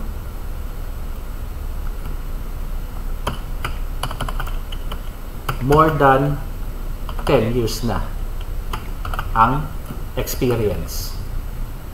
Okay? Tayo pa po kung aandar to. Ayun. So, yan po yung kanyang ginawa. Yan. So, kinuha po niya yung column ng salary. I-add niya lahat yung mga salary dyan. Depende kung ang department niya ay HR at meron na po siyang more than 10 years experience. Yan. Okay, gamit na niyo po yan, sigurado. Okay. Yan. Uh, Mag-shortcut lang po ako dito. Kung meron po kayong sum if, meron kayong average if. Okay? So, actually, halos the same lang po yan. Halos same lang po yung approach niyan. Average naman po ang kukunin po niya. Hindi na po, hindi niya i-add. I-average po niya. Okay? Same din naman po ng uh, count po. Okay? Ibibigay ko na lang po sa inyo yung ano, yung average if po niya na meron ng sample ano po. And so sige ko na po. Equal sign average yan. Lahat po ng empleyado, average po na salary. Okay, yan po. Kapag MIS lang po ang kailangan ninyo, average if. Kasi isa lang naman po ang condition niyo, average if. Criteria range will be department. Ito. I will select lahat lang po ng MIS. At ang i-add ko pong column, ito pong salary nila. Okay. Ayan. Kung medyo mabilis po yung paliwanag ko sa sa sa ano to? Sa recorded po mamaya, pag nag-review po kayo, i-post nyo na lang po yung video. Post na lang po, okay? Yan. So, equal sign naman po dito kapag kukunin ko po lahat po ng may average salary ng GSS na empleyado at more than 10 years experience. Equal sign, average. Yan. Kukunin ko po yung average muna. Yung i-average ko na column. Ito. Kama. First criteria ko po. Ito. Yung department. Kukunin ko po dito lahat lang po ng GSS employees. At ang aking basihan po dito, itong years, uh, years in service, second ko po yan, na meron ng more than 10 years experience. Press enter. Okay. So, hindi kayo mahihirapang mag, ano ng mga record nyo. Mag, isa-isa. Kukunin nyo muna lahat ng mga MIS bago nyo ma-average. Diyan na po sa inyong formula, supported na po siya. Okay? Sige. Count po. Lapit na po tayo matapos sa ibang formula po ng sheet. Count po. pag count, kina-count lang po niya. Hindi po niya bini, hindi po niya ina-add, hindi po niya ina-average. So, count numbers. Yan. Equal sign, count. So, pag kinuha ko po ito, yan. Close. Okay. 20. 20 po yung numbers dito. Kung meron po dito text, 19. Hindi po binibilang ng count yung letter po. Ang kinukuha lang po niya is yung numbers lang po talaga. Now, if you want to count po yung mga letters po, you need to use po yung count A. Count A. Right. Equal sign count A or count all number of you know, the number of values in a data set. Ayan. Kunin ko po lahat kunwari ito para malaman ko po kung ilan yung employee employees dito. Ko-close ko po siya. Enter. 20. Yan. Kung ito po naging number ito, okay pa rin po. Yan. So si count A, basta may laman, yung uh, column o yung cell, bibilangin po niya. Now, uh, gusto ko lang pong i-clarify na hindi lang kayo kailangan puro po pa horizontal, no? Na apa ah, vertical po yung pagsa-select. Uh, kung gusto niyo pong i-count lahat po ng record dito na kinukuha po ninyo, for example, count sa pa ito equals count A pag kinuha ko po lahat ito close ah, sabihin po niya 48 lahat yun yan. Kasi baka mamaya ang gawin niyo po puro pa vertical lang. Hindi naman po. Kahit po kayo magpa horizontal, pa vertical or para po itong box type yung range, pwedeng pwede niyo pong gawin yan para makakuha niyo po yung kung ilang record. Okay?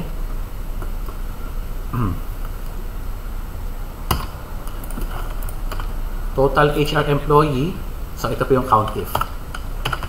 Count if. Ang range ko po dito, ito po ang part na to, department. Ito yung range. Bibilangin ko lang po dito. Lahat lang po ng HR.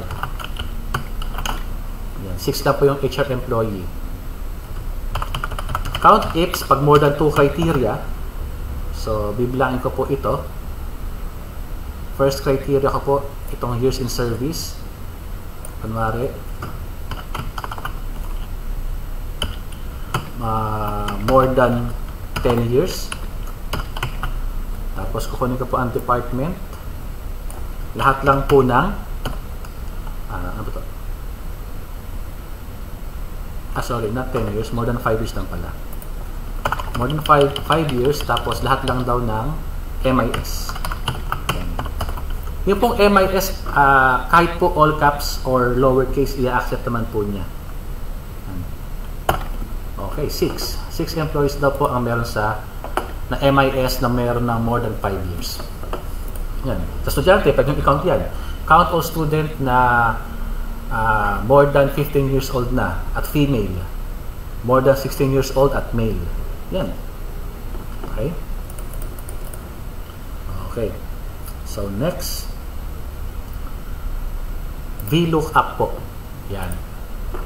Very important po itong VLOOKUP natin kasi uh, gamit na gamit po ang VLOOKUP. Ito po yung meron kayong table and aalamin po niya kung ano po yung value po nung uh, for example, ito po. Meron po tayong table dito. Pupunin ko muna po yung iba. Delete. Uh, if you want to delete po, no? Uh, right click na po dyan, then delete column. Ayan. Okay. May gusto po ako sa inyong uh, i-clarify muna po about sa pagdadrag, no?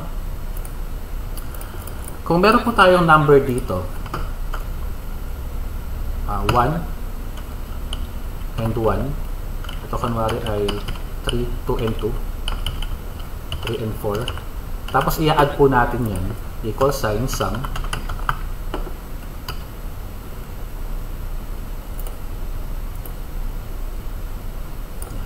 Papakita ko muna po.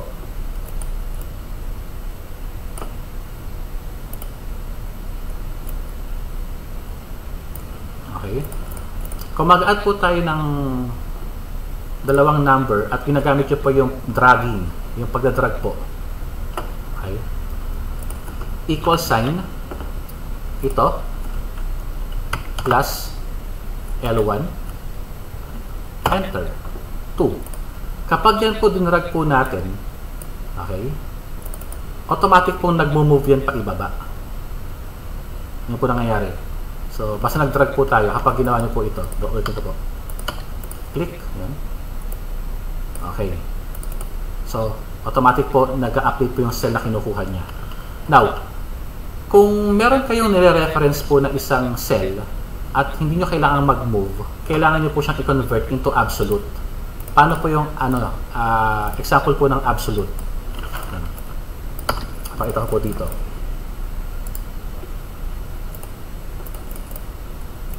Absolute, kunwari, ito ay 10. Yan. Lahat kunwari po ng number na na nandito, 5, 6, 4. I-add ko po sa 10. So, equal sign, 5 plus 10. So, straightforward lang po yun, di ba? Enter, 15. Now, if I click drag, yun po ang mali. Nung nag-drag po kasi ako, automatic din po na nag-move po ito, yung cell na yan. Kasi ito po ay naka-relative. Meaning, pag nag-drag kayo, mag-drag din po, mag-drag din po siya. Yan. Opo, uh, pag nag-open po kayo ng formula po na nasa Google, uh, sa Excel po, papunta pong sheet, hindi po siya magkakaproblema, same pa rin po yan. Pero po sa Google Classroom, meron po tayong class record doon sa Google Classroom tomorrow. Mag-enjoy kayo doon. uh, now, paano po mailalock? Okay?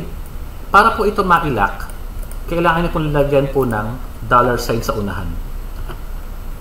Pag nag-dollar sign po kayo dito, meaning nakalock lang po kayo sa column na to. Okay? Ito ngayon ay absolute. Absolute na po itong setup na to and naka-fix po kayo sa J. Okay? Observe lang po. 15. Yun. Oh, same pa din. 6 pa rin to. Bakit? Nakalock lang ako sa column pero hindi pa ako nakalock sa row. Okay? So, to lock yung inyong cell, papalitan ko ngayon itong 1 ng dollar sign. Mag-a-add ako. Yan. So, meaning, nakalock ako sa J column at nakalock lang ako sa column, uh, sa row number 1 lang. Ay, ano na, distort na. Mali. Ayan. If I press enter, and 15, and if I click drag, yon tama na po. Kasi, nakalak na po yan dito. Yan. Gamit lang po itong dollar sign. Dollar sign. Shortcut key po niyan, pag ginawa niyo po siya uli, shortcut key is equal sign 5 plus itong sa itaas, mag-press lang kayo ng F4 sa keyboard. F4. Pag nag-F4 po kayo, F4 na function key po ah, yung F1, F2, F3. Yan. F4 po, close na siyang ganon. Enter. Ayan. Okay. Ayan. Yung po mga nagkasabi po na medyo malabo po ang video, please check lang po yung settings nyo po doon sa inyo pong, yung sa video po dyan, meron po dyan parang gear icon, dapat po nakaano kayo HD. HD or 720 po para medyo mag luminaw. Okay. Nakuha po yun. Ba't ko po siya in-explain? Kasi po baka mangyari po dito mamaya yun sa ating ginagawang VLOOKUP. Okay. Explain ko lang po. Burahin ko po ito, no? Muna. Uh, let's say meron kayong mga student po. Yan. Ito kunwari ko ng mga rate. Yan. So napaka-hassle naman po kasi kung gagawin niyo, ah, ito A, excellent. Tapos ito ay ulit excellent, di ba? If you type ng ganyan, mano-mano, medyo hassle. Now, what you can do is meron kayong parang legend or reference table na pwede po nyong magamit. Okay? So, yan pong reference table na yan, yan po ang ating gagamitin para po i-check yung value po nung A na rate. Kunyari, itong kay Kenya. Kenya Baxter, ang kanyang rate ay A. Automatic siya ay excellent. Okay? Para wag tayong mag-type dito ng paulit-ulit, we will use this as reference. Yung po ang VLOOKUP. Vertical lookup po ang tawag dito. Okay? VLOOKUP.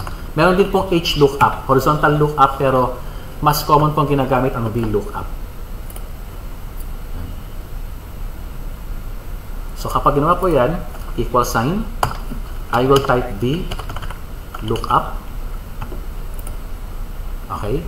Ang search key po natin, ito, yung A. Tama? Tapos ang range po na kanyang babasihan, ito po. Ito pong si A, yan. Yan po yung ating range. Now, ang kailangan po dito is nakalak lang po tayo dito sa table na yan. Wala po dapat tayong movement na mangyayari. Okay? Pag hindi po ako nag-fix dyan o nagkabit ng dollar sign, ito po ang effect. And after ko pong maselect yan, kama, ang index po na ukunin ko sa kanya, index, ito po, index 1, index 2. I will select po index 2 para ito ang lalabas. Close, enter. Yan. So, tama. A, excellent. If I drag, nag-ano na po to, NA na. Excuse. Nag-NA na po siya kasi po, nag-move oh, nawala na po sa reference dito. If I drag ulit, fair, tama. Baba ulit ako sa D, better, tama. NA na naman. Yan. Kasi po, nag-move sa ibaba. Okay po? So, kailangan po natin i-fix to. So, from here, I will just highlight po ito, yung aking reference table. Then, I will click F4. Ah, press F4 lang po. Yan. So, nakalak po ako sa H from H7 column, uh, H cell, H7 cell po hanggang sa I11 po na cell. Press Enter key. Okay. Then, click, hold, and drag. Yan. Excuse po. Ayan, nag-appear na po siya. Okay? Ayan.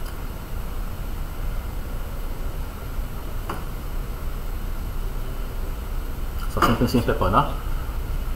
Marami, marami pong example po sa internet po about VLOOKUP. So, pwede nyo po siyang panoorin din doon or i-check kung paano ginagawa. Okay? Uh, last natin sa function is yung paggamit po ng unique. Okay? Yung pong unique. Uh, unique po ginagamit siya kapag meron kayong same data na magkaparehas po. Okay? For example, ito siya. Yan, so marami pong record to. Marami po yan. Pero actually lahat po ito, may mga identical lang. Nag-copy-paste lang po kasi ako para po sa testing natin. Okay? Yan, meron po siyang spellbound sandals, $10. Ito uli siya, $10. So sinadya ko po siyang i-duplicate. Okay? Now, para po ma kuha po natin, kasi kapag sinabing unique, dapat walang kaparehas. Kung iisa-isahin po natin ito, if we will check this one by one, matrabaho po ito. Kasi, babasahin po isa-isa. So, you can use po yung unique po, unique na function. Okay? Tapos, kukunin ko lang po lahat ito. Mula sa iba. Dito hanggang sa ibaba po. So, I selected lahat. Kuklose ko lang po yung function na yan. Enter. And ilalabas po niya sa akin lahat po ng unique lang po na record. Okay? So, yan po ang advantage ng gumagamit ng unique. Baka mamaya sa email, sa record ng inyong estudyante na naulit na pala yung record ng bata. Okay? Yan. So, ito, um, filterin po niya lahat lang po ng mga unique po, hindi magkakaparehas. Okay? Yan. So far, ito po yung ating last sa manual, mano-mano po na function. One more topic po sa sheet is yung conditional formatting. Conditional formatting po is available po yan uh, dito po sa ating format po na menu and dito po conditional formatting. Uh, ang advantage po nito is hindi po kayo kailangan maglagay ng manual po na formula. Siya po bahalang mag mag-apply po ng effect or ng style sa, sa inyo pong cell, depende po sa inyo pong condition na hinihingi. So, paano po yan? For example, dito, you want to select lahat lang po ng or you want to apply color, kunyari, you want to apply color sa lahat po ng mga more than 10, uh, more than 15 kunwari, more than 15 dollars po. Okay? So, I will click format muna and open po yung conditional formatting. Okay? And mag-open po yan dito po sa right side ng inyong screen. Para po makita natin. Okay? So, dito po, uh, I will highlight muna po lahat. Meron po kasi ako nakabit ata at nag, ano siya, nag-green. Ayan. I will highlight lahat po ng cell na to. Ayan. So, dito po, we have the single color and color scale. Okay, single color muna po tayo. Single color, apply to range. Yan. I-click ko po ito. So, lahat po yan.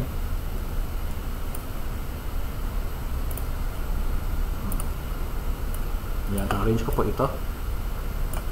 Okay? So, E2 hanggang E9 po yung aking range na kinuha. Lahat po ito. Ang aking format rules is kapag daw yung cell na yan is greater than greater than tayo. If greater than ano yung value? Let's say greater than 10. See? Nagbago na siya.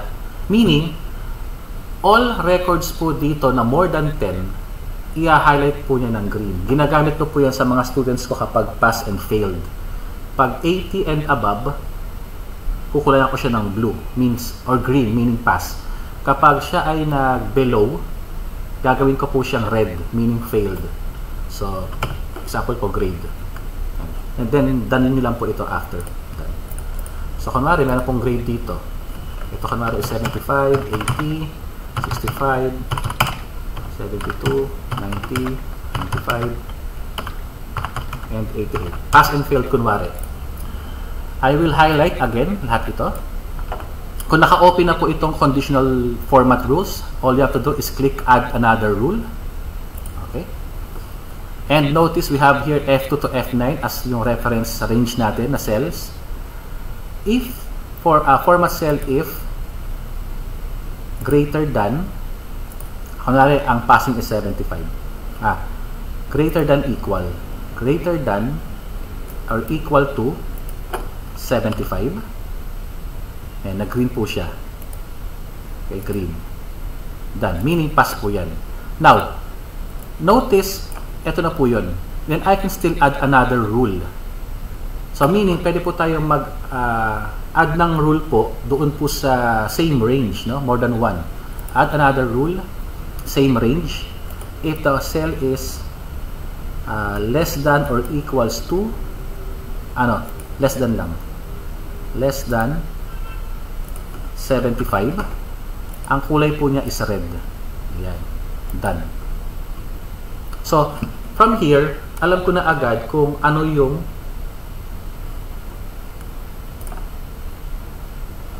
so from here po alam ko na agad kung sino yung uh, nag-pass or failed sa uh, list ko ng aking students po. Uh, ibibi, uh, ma'am, Miss Bobby po ba ito? Miss Bobby? Bobby Bio. Uh, bibigyan ko po, I will, uh, po, share po itong Google Sheet po sa ating group po para po magamit po ninyo. Okay? Ayan. Now, uh, ito pong uh, conditional formatting natin dito is pwede pong i-arrange. Yan. Now, observe po mabuti dito, no? If I will drag ito po sa itaas, yan. So far, okay naman siya kasi less than 75. Okay, now, itong isang example, mukhang nag-obra dun eh. Uh, I will click greater than 10, green. Okay. Mag-add po ako ng isa pa. This time, para po sa column na to. I will select pag more than 10, green. Kapag more than, well, greater than, let's say, uh, 15, kunwari ang color nito ay yellow. Greater than 15.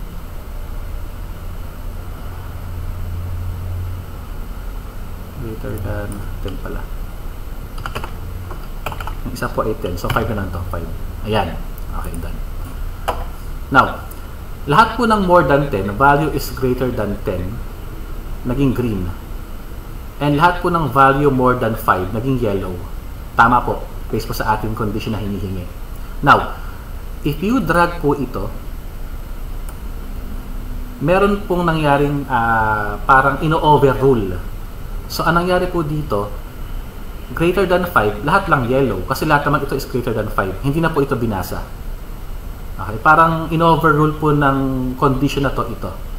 So, be careful po kapag nag-try po kayong mag-conditional formatting kasi meron po mga yaring changes po dyan.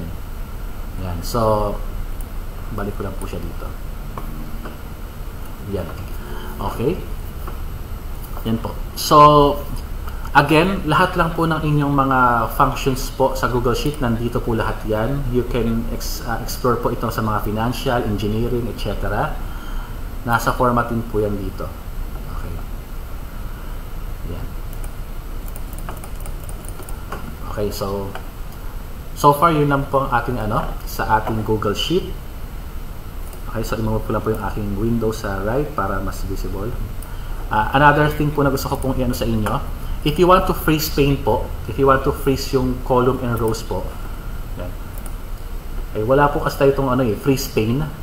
Kung kayo pa familiar sa iba pong iba pong spread up, spreadsheet application na pwede nyo pong i-freeze yung column and row. So dito, ito pong ating uh, ito pong parang itong upper right po na corner dito If you click po yan, you are selecting po itong buong cell. Buong uh, sheet po natin. Okay? Now, kapag tinry nyo po itong i-drag, ayan, ito pong parang makapal na border na to. Dadrag ko po siya.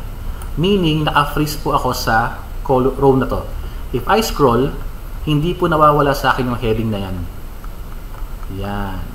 Maganda po yan kapag marami yung record, sobrang haba. Okay? Ito po, same din. Ito mo for columns kapag ako po ay nag-scroll pa papunta dito ayan no hindi po nawawala yung mga items ko item name and pati po yung aking cost item and cost. Ayan. So see very useful po yan kapag napakahaba yung gumagawa ng mga form 18 ako po grabe ang haba niyan. Panig kung tawagin namin sa secondary yan eh. Yan. Talagang lalagyan mo ng ano yun eh pass pass pass pass pass pass pass. Fail fail fail fail. Sarap nun. Okay. Um, so far um, siguro wala na po tayo masyado kasing time uh, kukuha na lang muna po ako ng ibang Google application na mas maigse para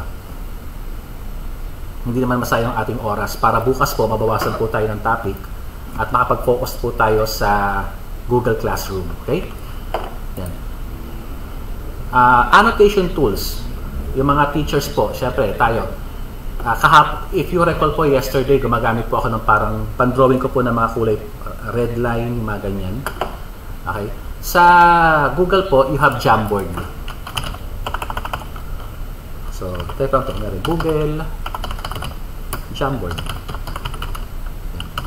Papakita ko lang po ito. Google Jamboard is ano po yan, interactive na parang whiteboard po ng Google. Wala naman po ito masyadong function. Ito lang po ay whiteboard. Ayan. So, if you type po yan at nag-open na po itong jamboard.google.com, ito po yung pinaka parang ano nyo, whiteboard, yung area na to. So, click lang po yung plus sign na to. Loading pa po siya. Okay. So, untitled jam, pwede po kayong maglagay dito ng, syempre, of course, yung title muna po. Let's say, ito pa ay lecture, kunwari, about math or programming. Programming. Programming 1.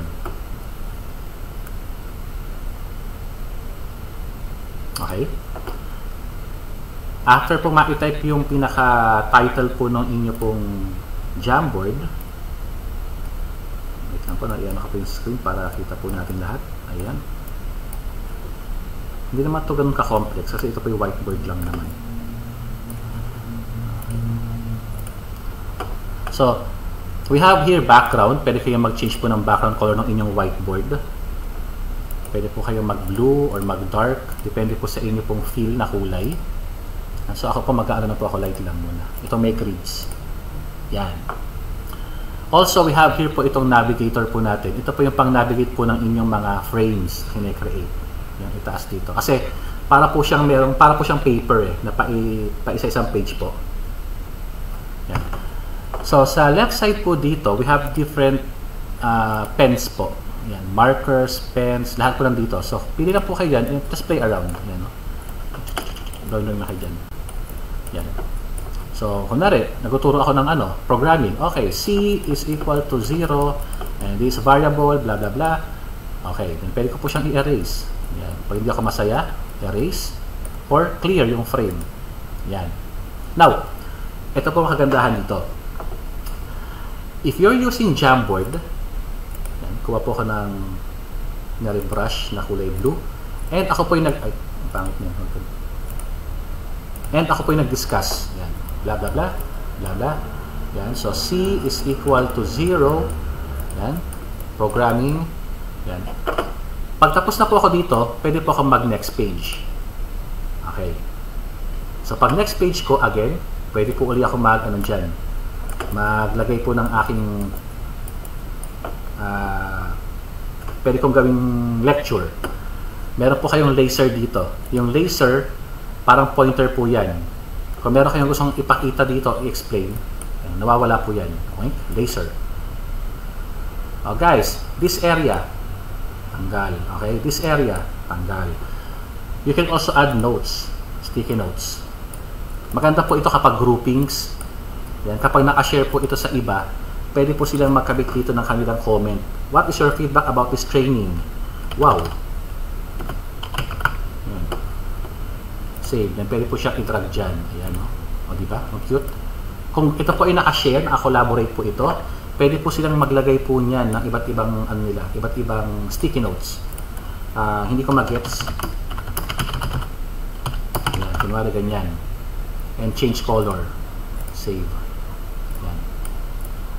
Imagine, meron na kayong interactive white, parang interactive whiteboard. Image, pwede kayo mag-insert ng image, walang problema. Search lang po tayo dito ng any keyword lang po. Uh, ito pala. Pwede po kayo mag-upload, no? Upload po ito. Ito, upload. Google Photos. Search lang po ako dito. Dog. Dog.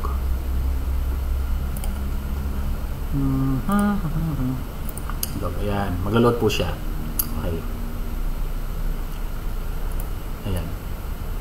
So, kumari, mahaba pa yung inyong lecture, no? Marami kayong nailagay dito. Talagang very, ano to, loaded po ng content. Meron po kayong estudyante bigla na, ma'am, wala po akong internet.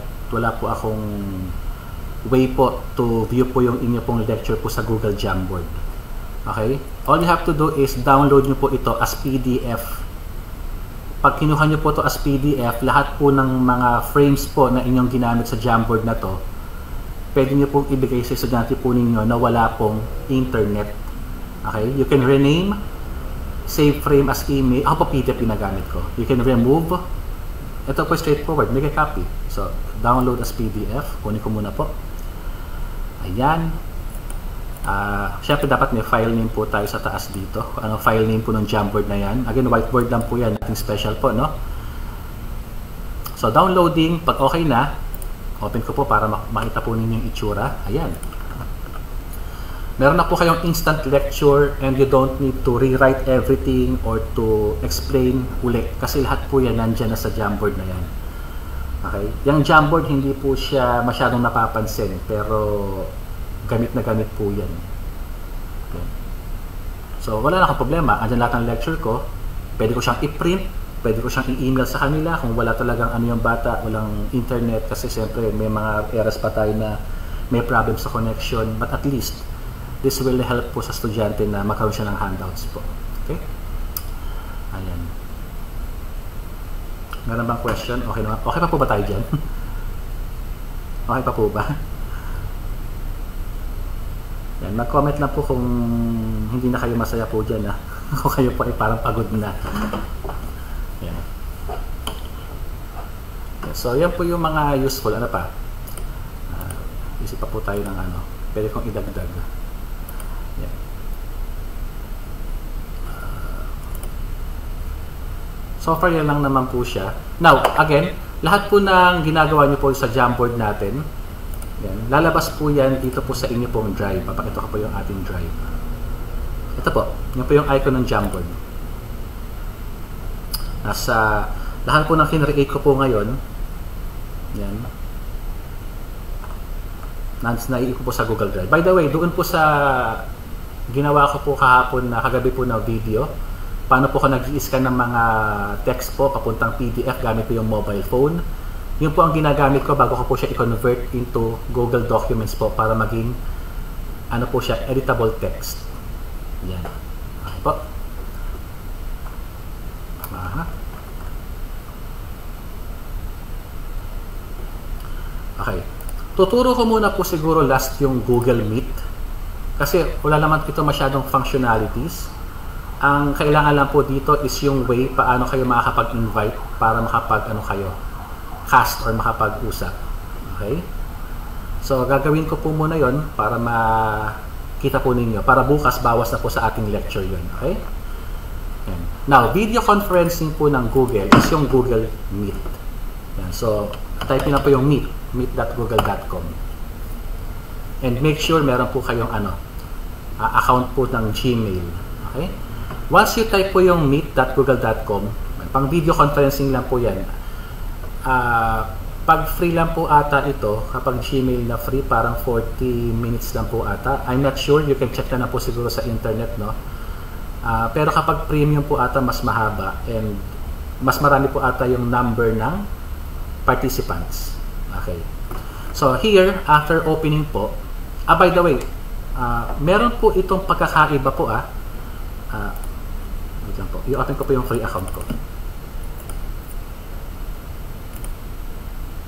Uh, mamaya na po, baka magka-problema po yung ating video eh. Kasi ito po nangyari kanina nung ginalaw ko, na, na naputol tayo.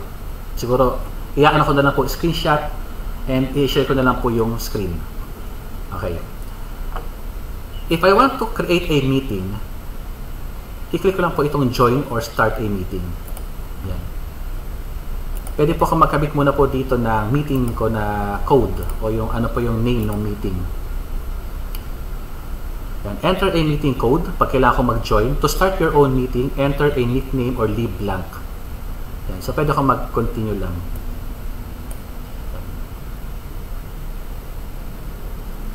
Start na ako ng meeting yan. Okay. Baka po hindi umandar ng maayos yung camera kasi po ginagamit ko po ngayon sa inyo.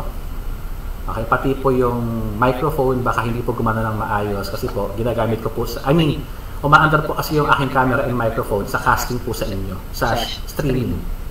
Pero po dito, nagfe-fail po ako kasi po ginagamit ko nga po sa inyo. Pero pag ginawa niyo po ito, wala po mangyayari sa inyong error. But make sure lang po na dito po, ina-allow nyo po yan ha. Ah. Ayan. Yung icon po sa inyong URL na parang camera. Continue allowing Meet Google to access your camera and microphone. Dapat ito naka-continue tapos done. Sa case ko po, fail talaga yan kasi po ginagamit ko po sa inyo ngayon. Now, if I click Join Now, yan. nasa loob na po ako ngayon ng uh, ito pong ano, pinaka-stream, pinaka-conference na po. Okay? Yan. So, nakapag-start na po ako. Now, paano po ako ngayon? Ay. Yan. Nag-mute muna po ako. Now, paano po ako ngayon makakapag-send po sa inyo ng invites? Dito po sa lower left, meron po dito nakalagay na details. Ayan. Okay? Ito pong details na to, ito po yung kailangan po ninyong i-copy and paste lang. Ah, by the way, mga uh, sir and ma'am, marami po tayong way kung paano po tayo makakapag-invite sa Google Meet. Tinuturo ko lang muna po ito para makabawas po sa ating uh, discussion. Okay po? Pag kinapit ko po ito, ito lang po yung kailangan kong ibigay sa inyo at makakapag-join po kayo. Sige po. Subukan lang po natin kahit lang mga wag naman po siguro lahat baka tayo mapuno. Pag ginawa niyo po, i-click niyo po 'yan. Kapag ginawa niyo pong mag-join diyan, paki-mute lang po ang inyong mga microphone agad. Okay? Check po natin kung may lalabas dito sa aking invitation. Kahit isa lang po siguro.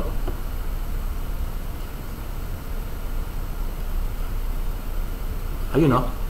May nag-pump sa akin dito. Sir RJ. Sir Sir RJ. Rafael Jan Rivera. Admit. Ayan. Sir RJ, paki-off lang po ang microphone. Kung meron kayong camera, paki-on po para makita po nila.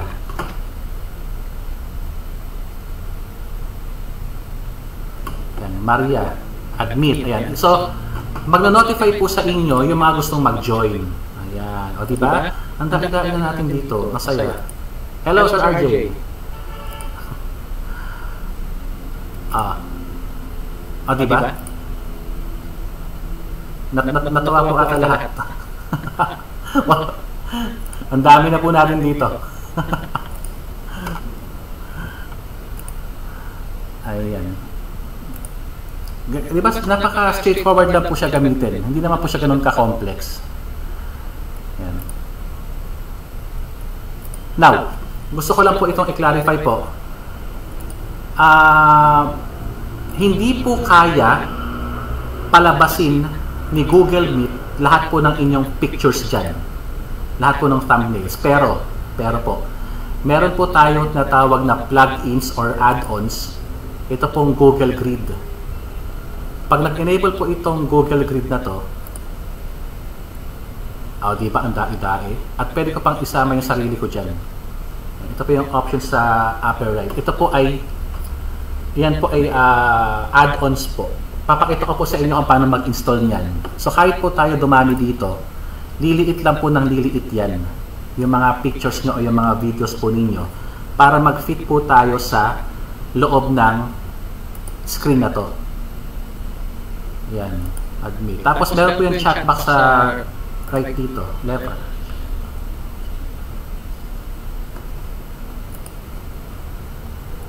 Yan. Paki-mute lang po yung microphone kasi po mag-e-echo po sa atin yan. Ayan. Meron po itong, hindi ko yung chat natin.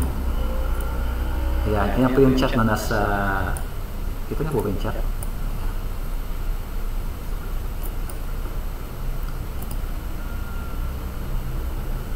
Ayan. Okay po.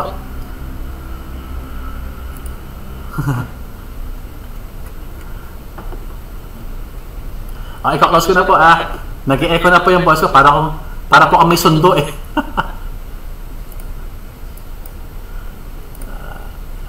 ah, ang dami.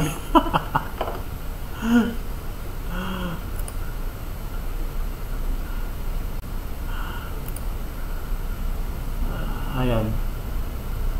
Ang dami na po natin. Ayan. Ah, yung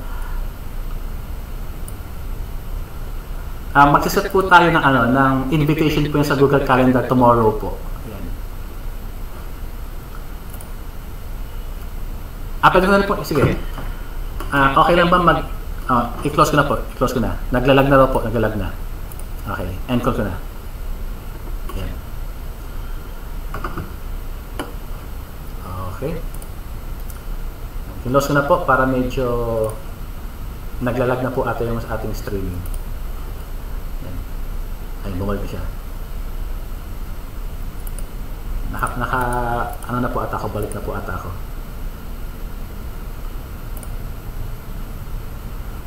Yan. Okay na po? Meron pa po ba akong audio? Type lang po ng okay kung buhay pa yung ating streaming. Type okay lang po. Type okay.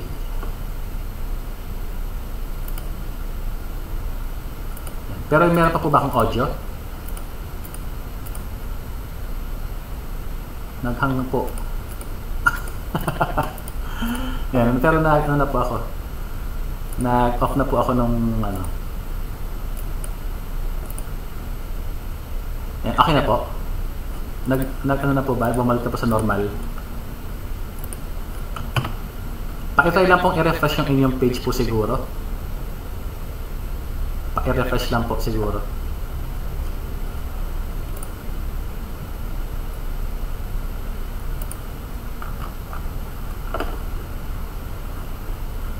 Yan.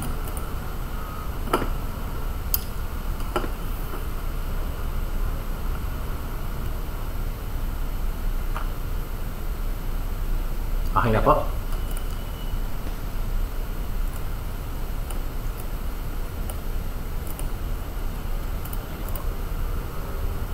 Ayan. So, buti na buti na ako sa refresh at hindi po tayo naputol. Ah, okay lang po, ituro ko na po ngayon yung Google Calendar.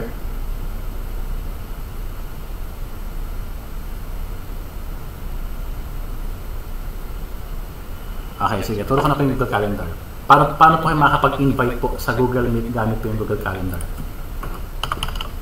Para po bukas, I will focus na lang po sa Google Slide at doon sa ah, Google Classroom po at Google Form Forms. So if you want to schedule po ng Google Meet meeting, you need to open po yung inyong calendar. Okay? Madali lang po ito, hindi po ito, ma, hindi po ito complex. Zoom in po tayo. So once you open your calendar, all you have to do is check lang po yung dates kung saan nyo po gustong mag-set ng meeting po o ng klase sa inyong pong student. Okay? So for example, I want to set sa 15. Gusto kong mag-set ng ang ano rito, event or ng meeting. If I will click, isang click lang po, nag-open po ito. So pwede po akong mag-set ng event. Ah, ito pong out of office saka appointment slots, hindi po ito available sa free sa free po na Gmail ah. Hindi po yan, hindi po siya libre. Yan, so event na lang po ako. Kunwari, um, class meeting sa let's say fourth year section gold.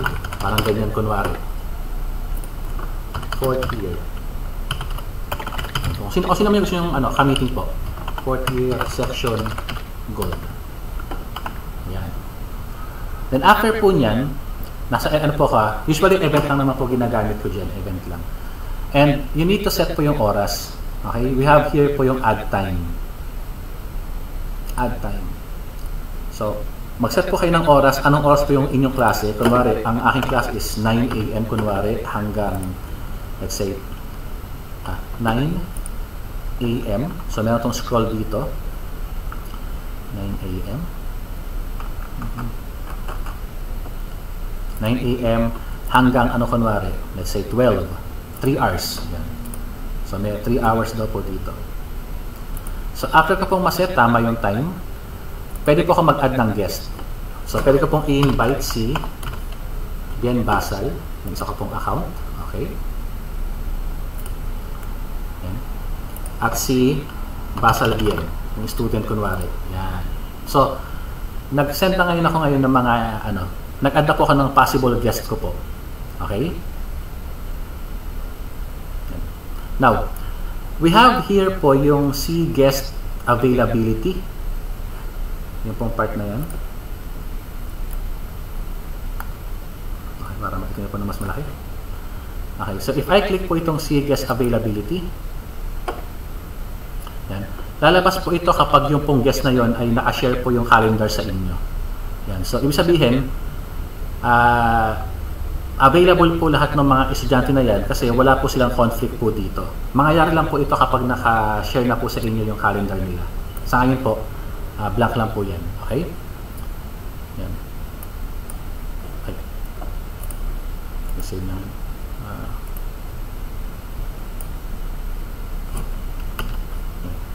more options na nag-iba na po. Ayan. So, after po nun, pwede po kayong mag-join with Google Meet. Ayan. Meet ko po ah, kasi parang nag-iba po yung screen. Baka mawala po kayo. Ulitin ko siya. Ayan, discard ko lang muna. So again, dito ka mag-event, class. Ayan. Fourth year section gold. Again, ang aking time, add time ko dito is uh, 9 AM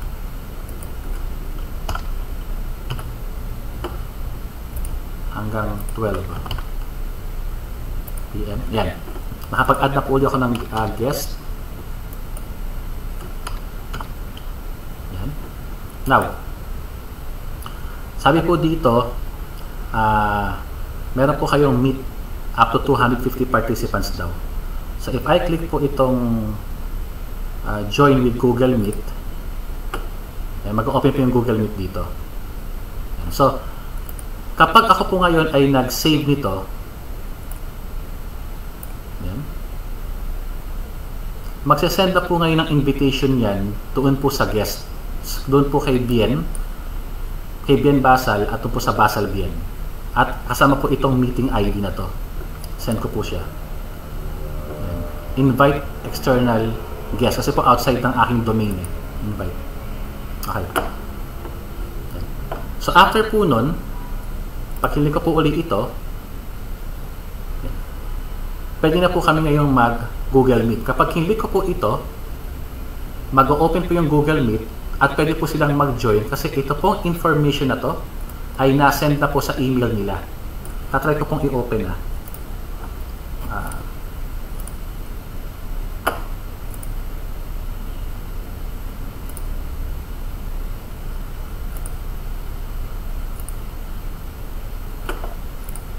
Aha, ito po. Sugal na po ito. Ah. Mag-change po ako ng screen kung hindi po mawawala yung ating ano. Ito na po siya.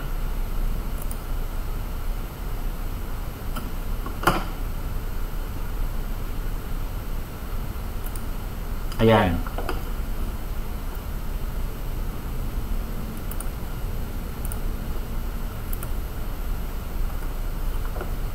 So, ito po ngayon ang ma-receive po nung in-invite ko po doon sa email. Ayan. Ang advantage po niyan, since ito po ay calendar, kung ang inyo po mga students ay ginagamit yung Google Calendar, lalabas po sa kanilang calendar yung mga invitation po para po sa class. Yan. So ito po yung ngayon, no? ini-invite po ako ni ito pong email na to tapos, ito po yung mga guest. Kita ko po yan. Ayan. And ito po yung Google Meet na information na kailangan. If you click po ito, i-open po niya yung uh, Google Meet at makakapag-start na po silang mag-meeting. Kayo pala mag mag-klase or mag-meeting.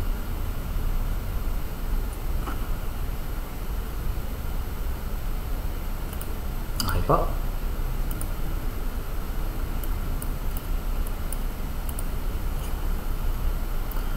Ayan. So I think I will uh,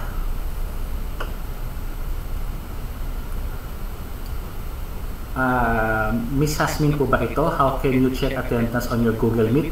Wala po siyang way to check pero meron po tayong plugin for checking ng attendance po niyan si Google, si Meet Attendance. Ah, okay lang po yung walang Ah, hindi po pwede. Dapat po meron po sila. Kahit po hindi po yung paid na G Suite, basta po Gmail. May Gmail po dapat sila. Ayan.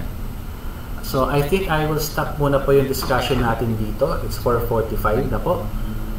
At uh, mm, I hope you enjoy po itong ating uh, discussion for day 2. Yes po, every Google Meet link, iba-iba po yan. Unique po lagi. Hindi po magkakaparehas yan. Kung meron man po diyang magjo-join ng ibang tao, ibig sabihin pinamigay po sa kanya yung link. Lagi pong unique yan, wala pong kaparehas yan. Sa dami po nang gumagamit ng Google Meet, hindi po nagkakaparehas yan. Uh, before po kayong mag-leave sa ating pong streaming, make sure lang po na kayo po ay makapag-log out po sa ating FB group. Medyo mahigpit po ang admin ng hobby. Okay? Kasi uh, ito pong ating training is free. So, ang hinihingi lang po nila is yung uh, basahin lang po natin yung mga announcement doon, para po tayo ay makapag-update din po. Yan. Ang Google Meet po, pwede po sa PC or sa mobile phone, wala pong problema po dyan. As long na, kapag sa mobile, meron pong Google Meet po na app. download. Ah, naka-install na po ata siya. Meron lang pong ano yan, ah, meron lang pong kaibahan lang po yung mga ano po niya, features. Kapag kayo po ay gumagamit ng paid version ng Google, G Suite po, yung G Suite Enterprise, mare-record nyo po yung video po ng inyong klase. Yan. Mag, ma, ma, pwede pong i-record yung klase ninyo. Kung kayo po ay gumagamit lang ng free, wala pong recording. Ayan. So I think I'll stop na po yung ating discussion po sa part na yan. And Okay, visible pa po ba ako sa inyo? Parang iniwan na ata nila ako.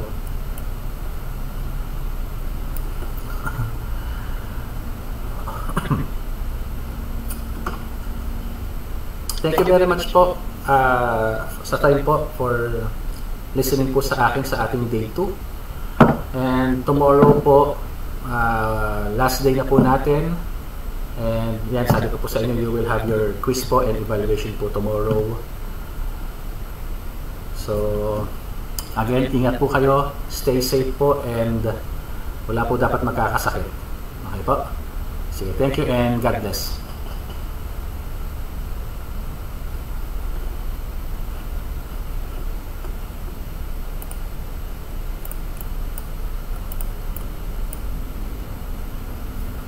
But na lang, once na po tayo naputol ngayon. Naputol po tayo isang beses lang.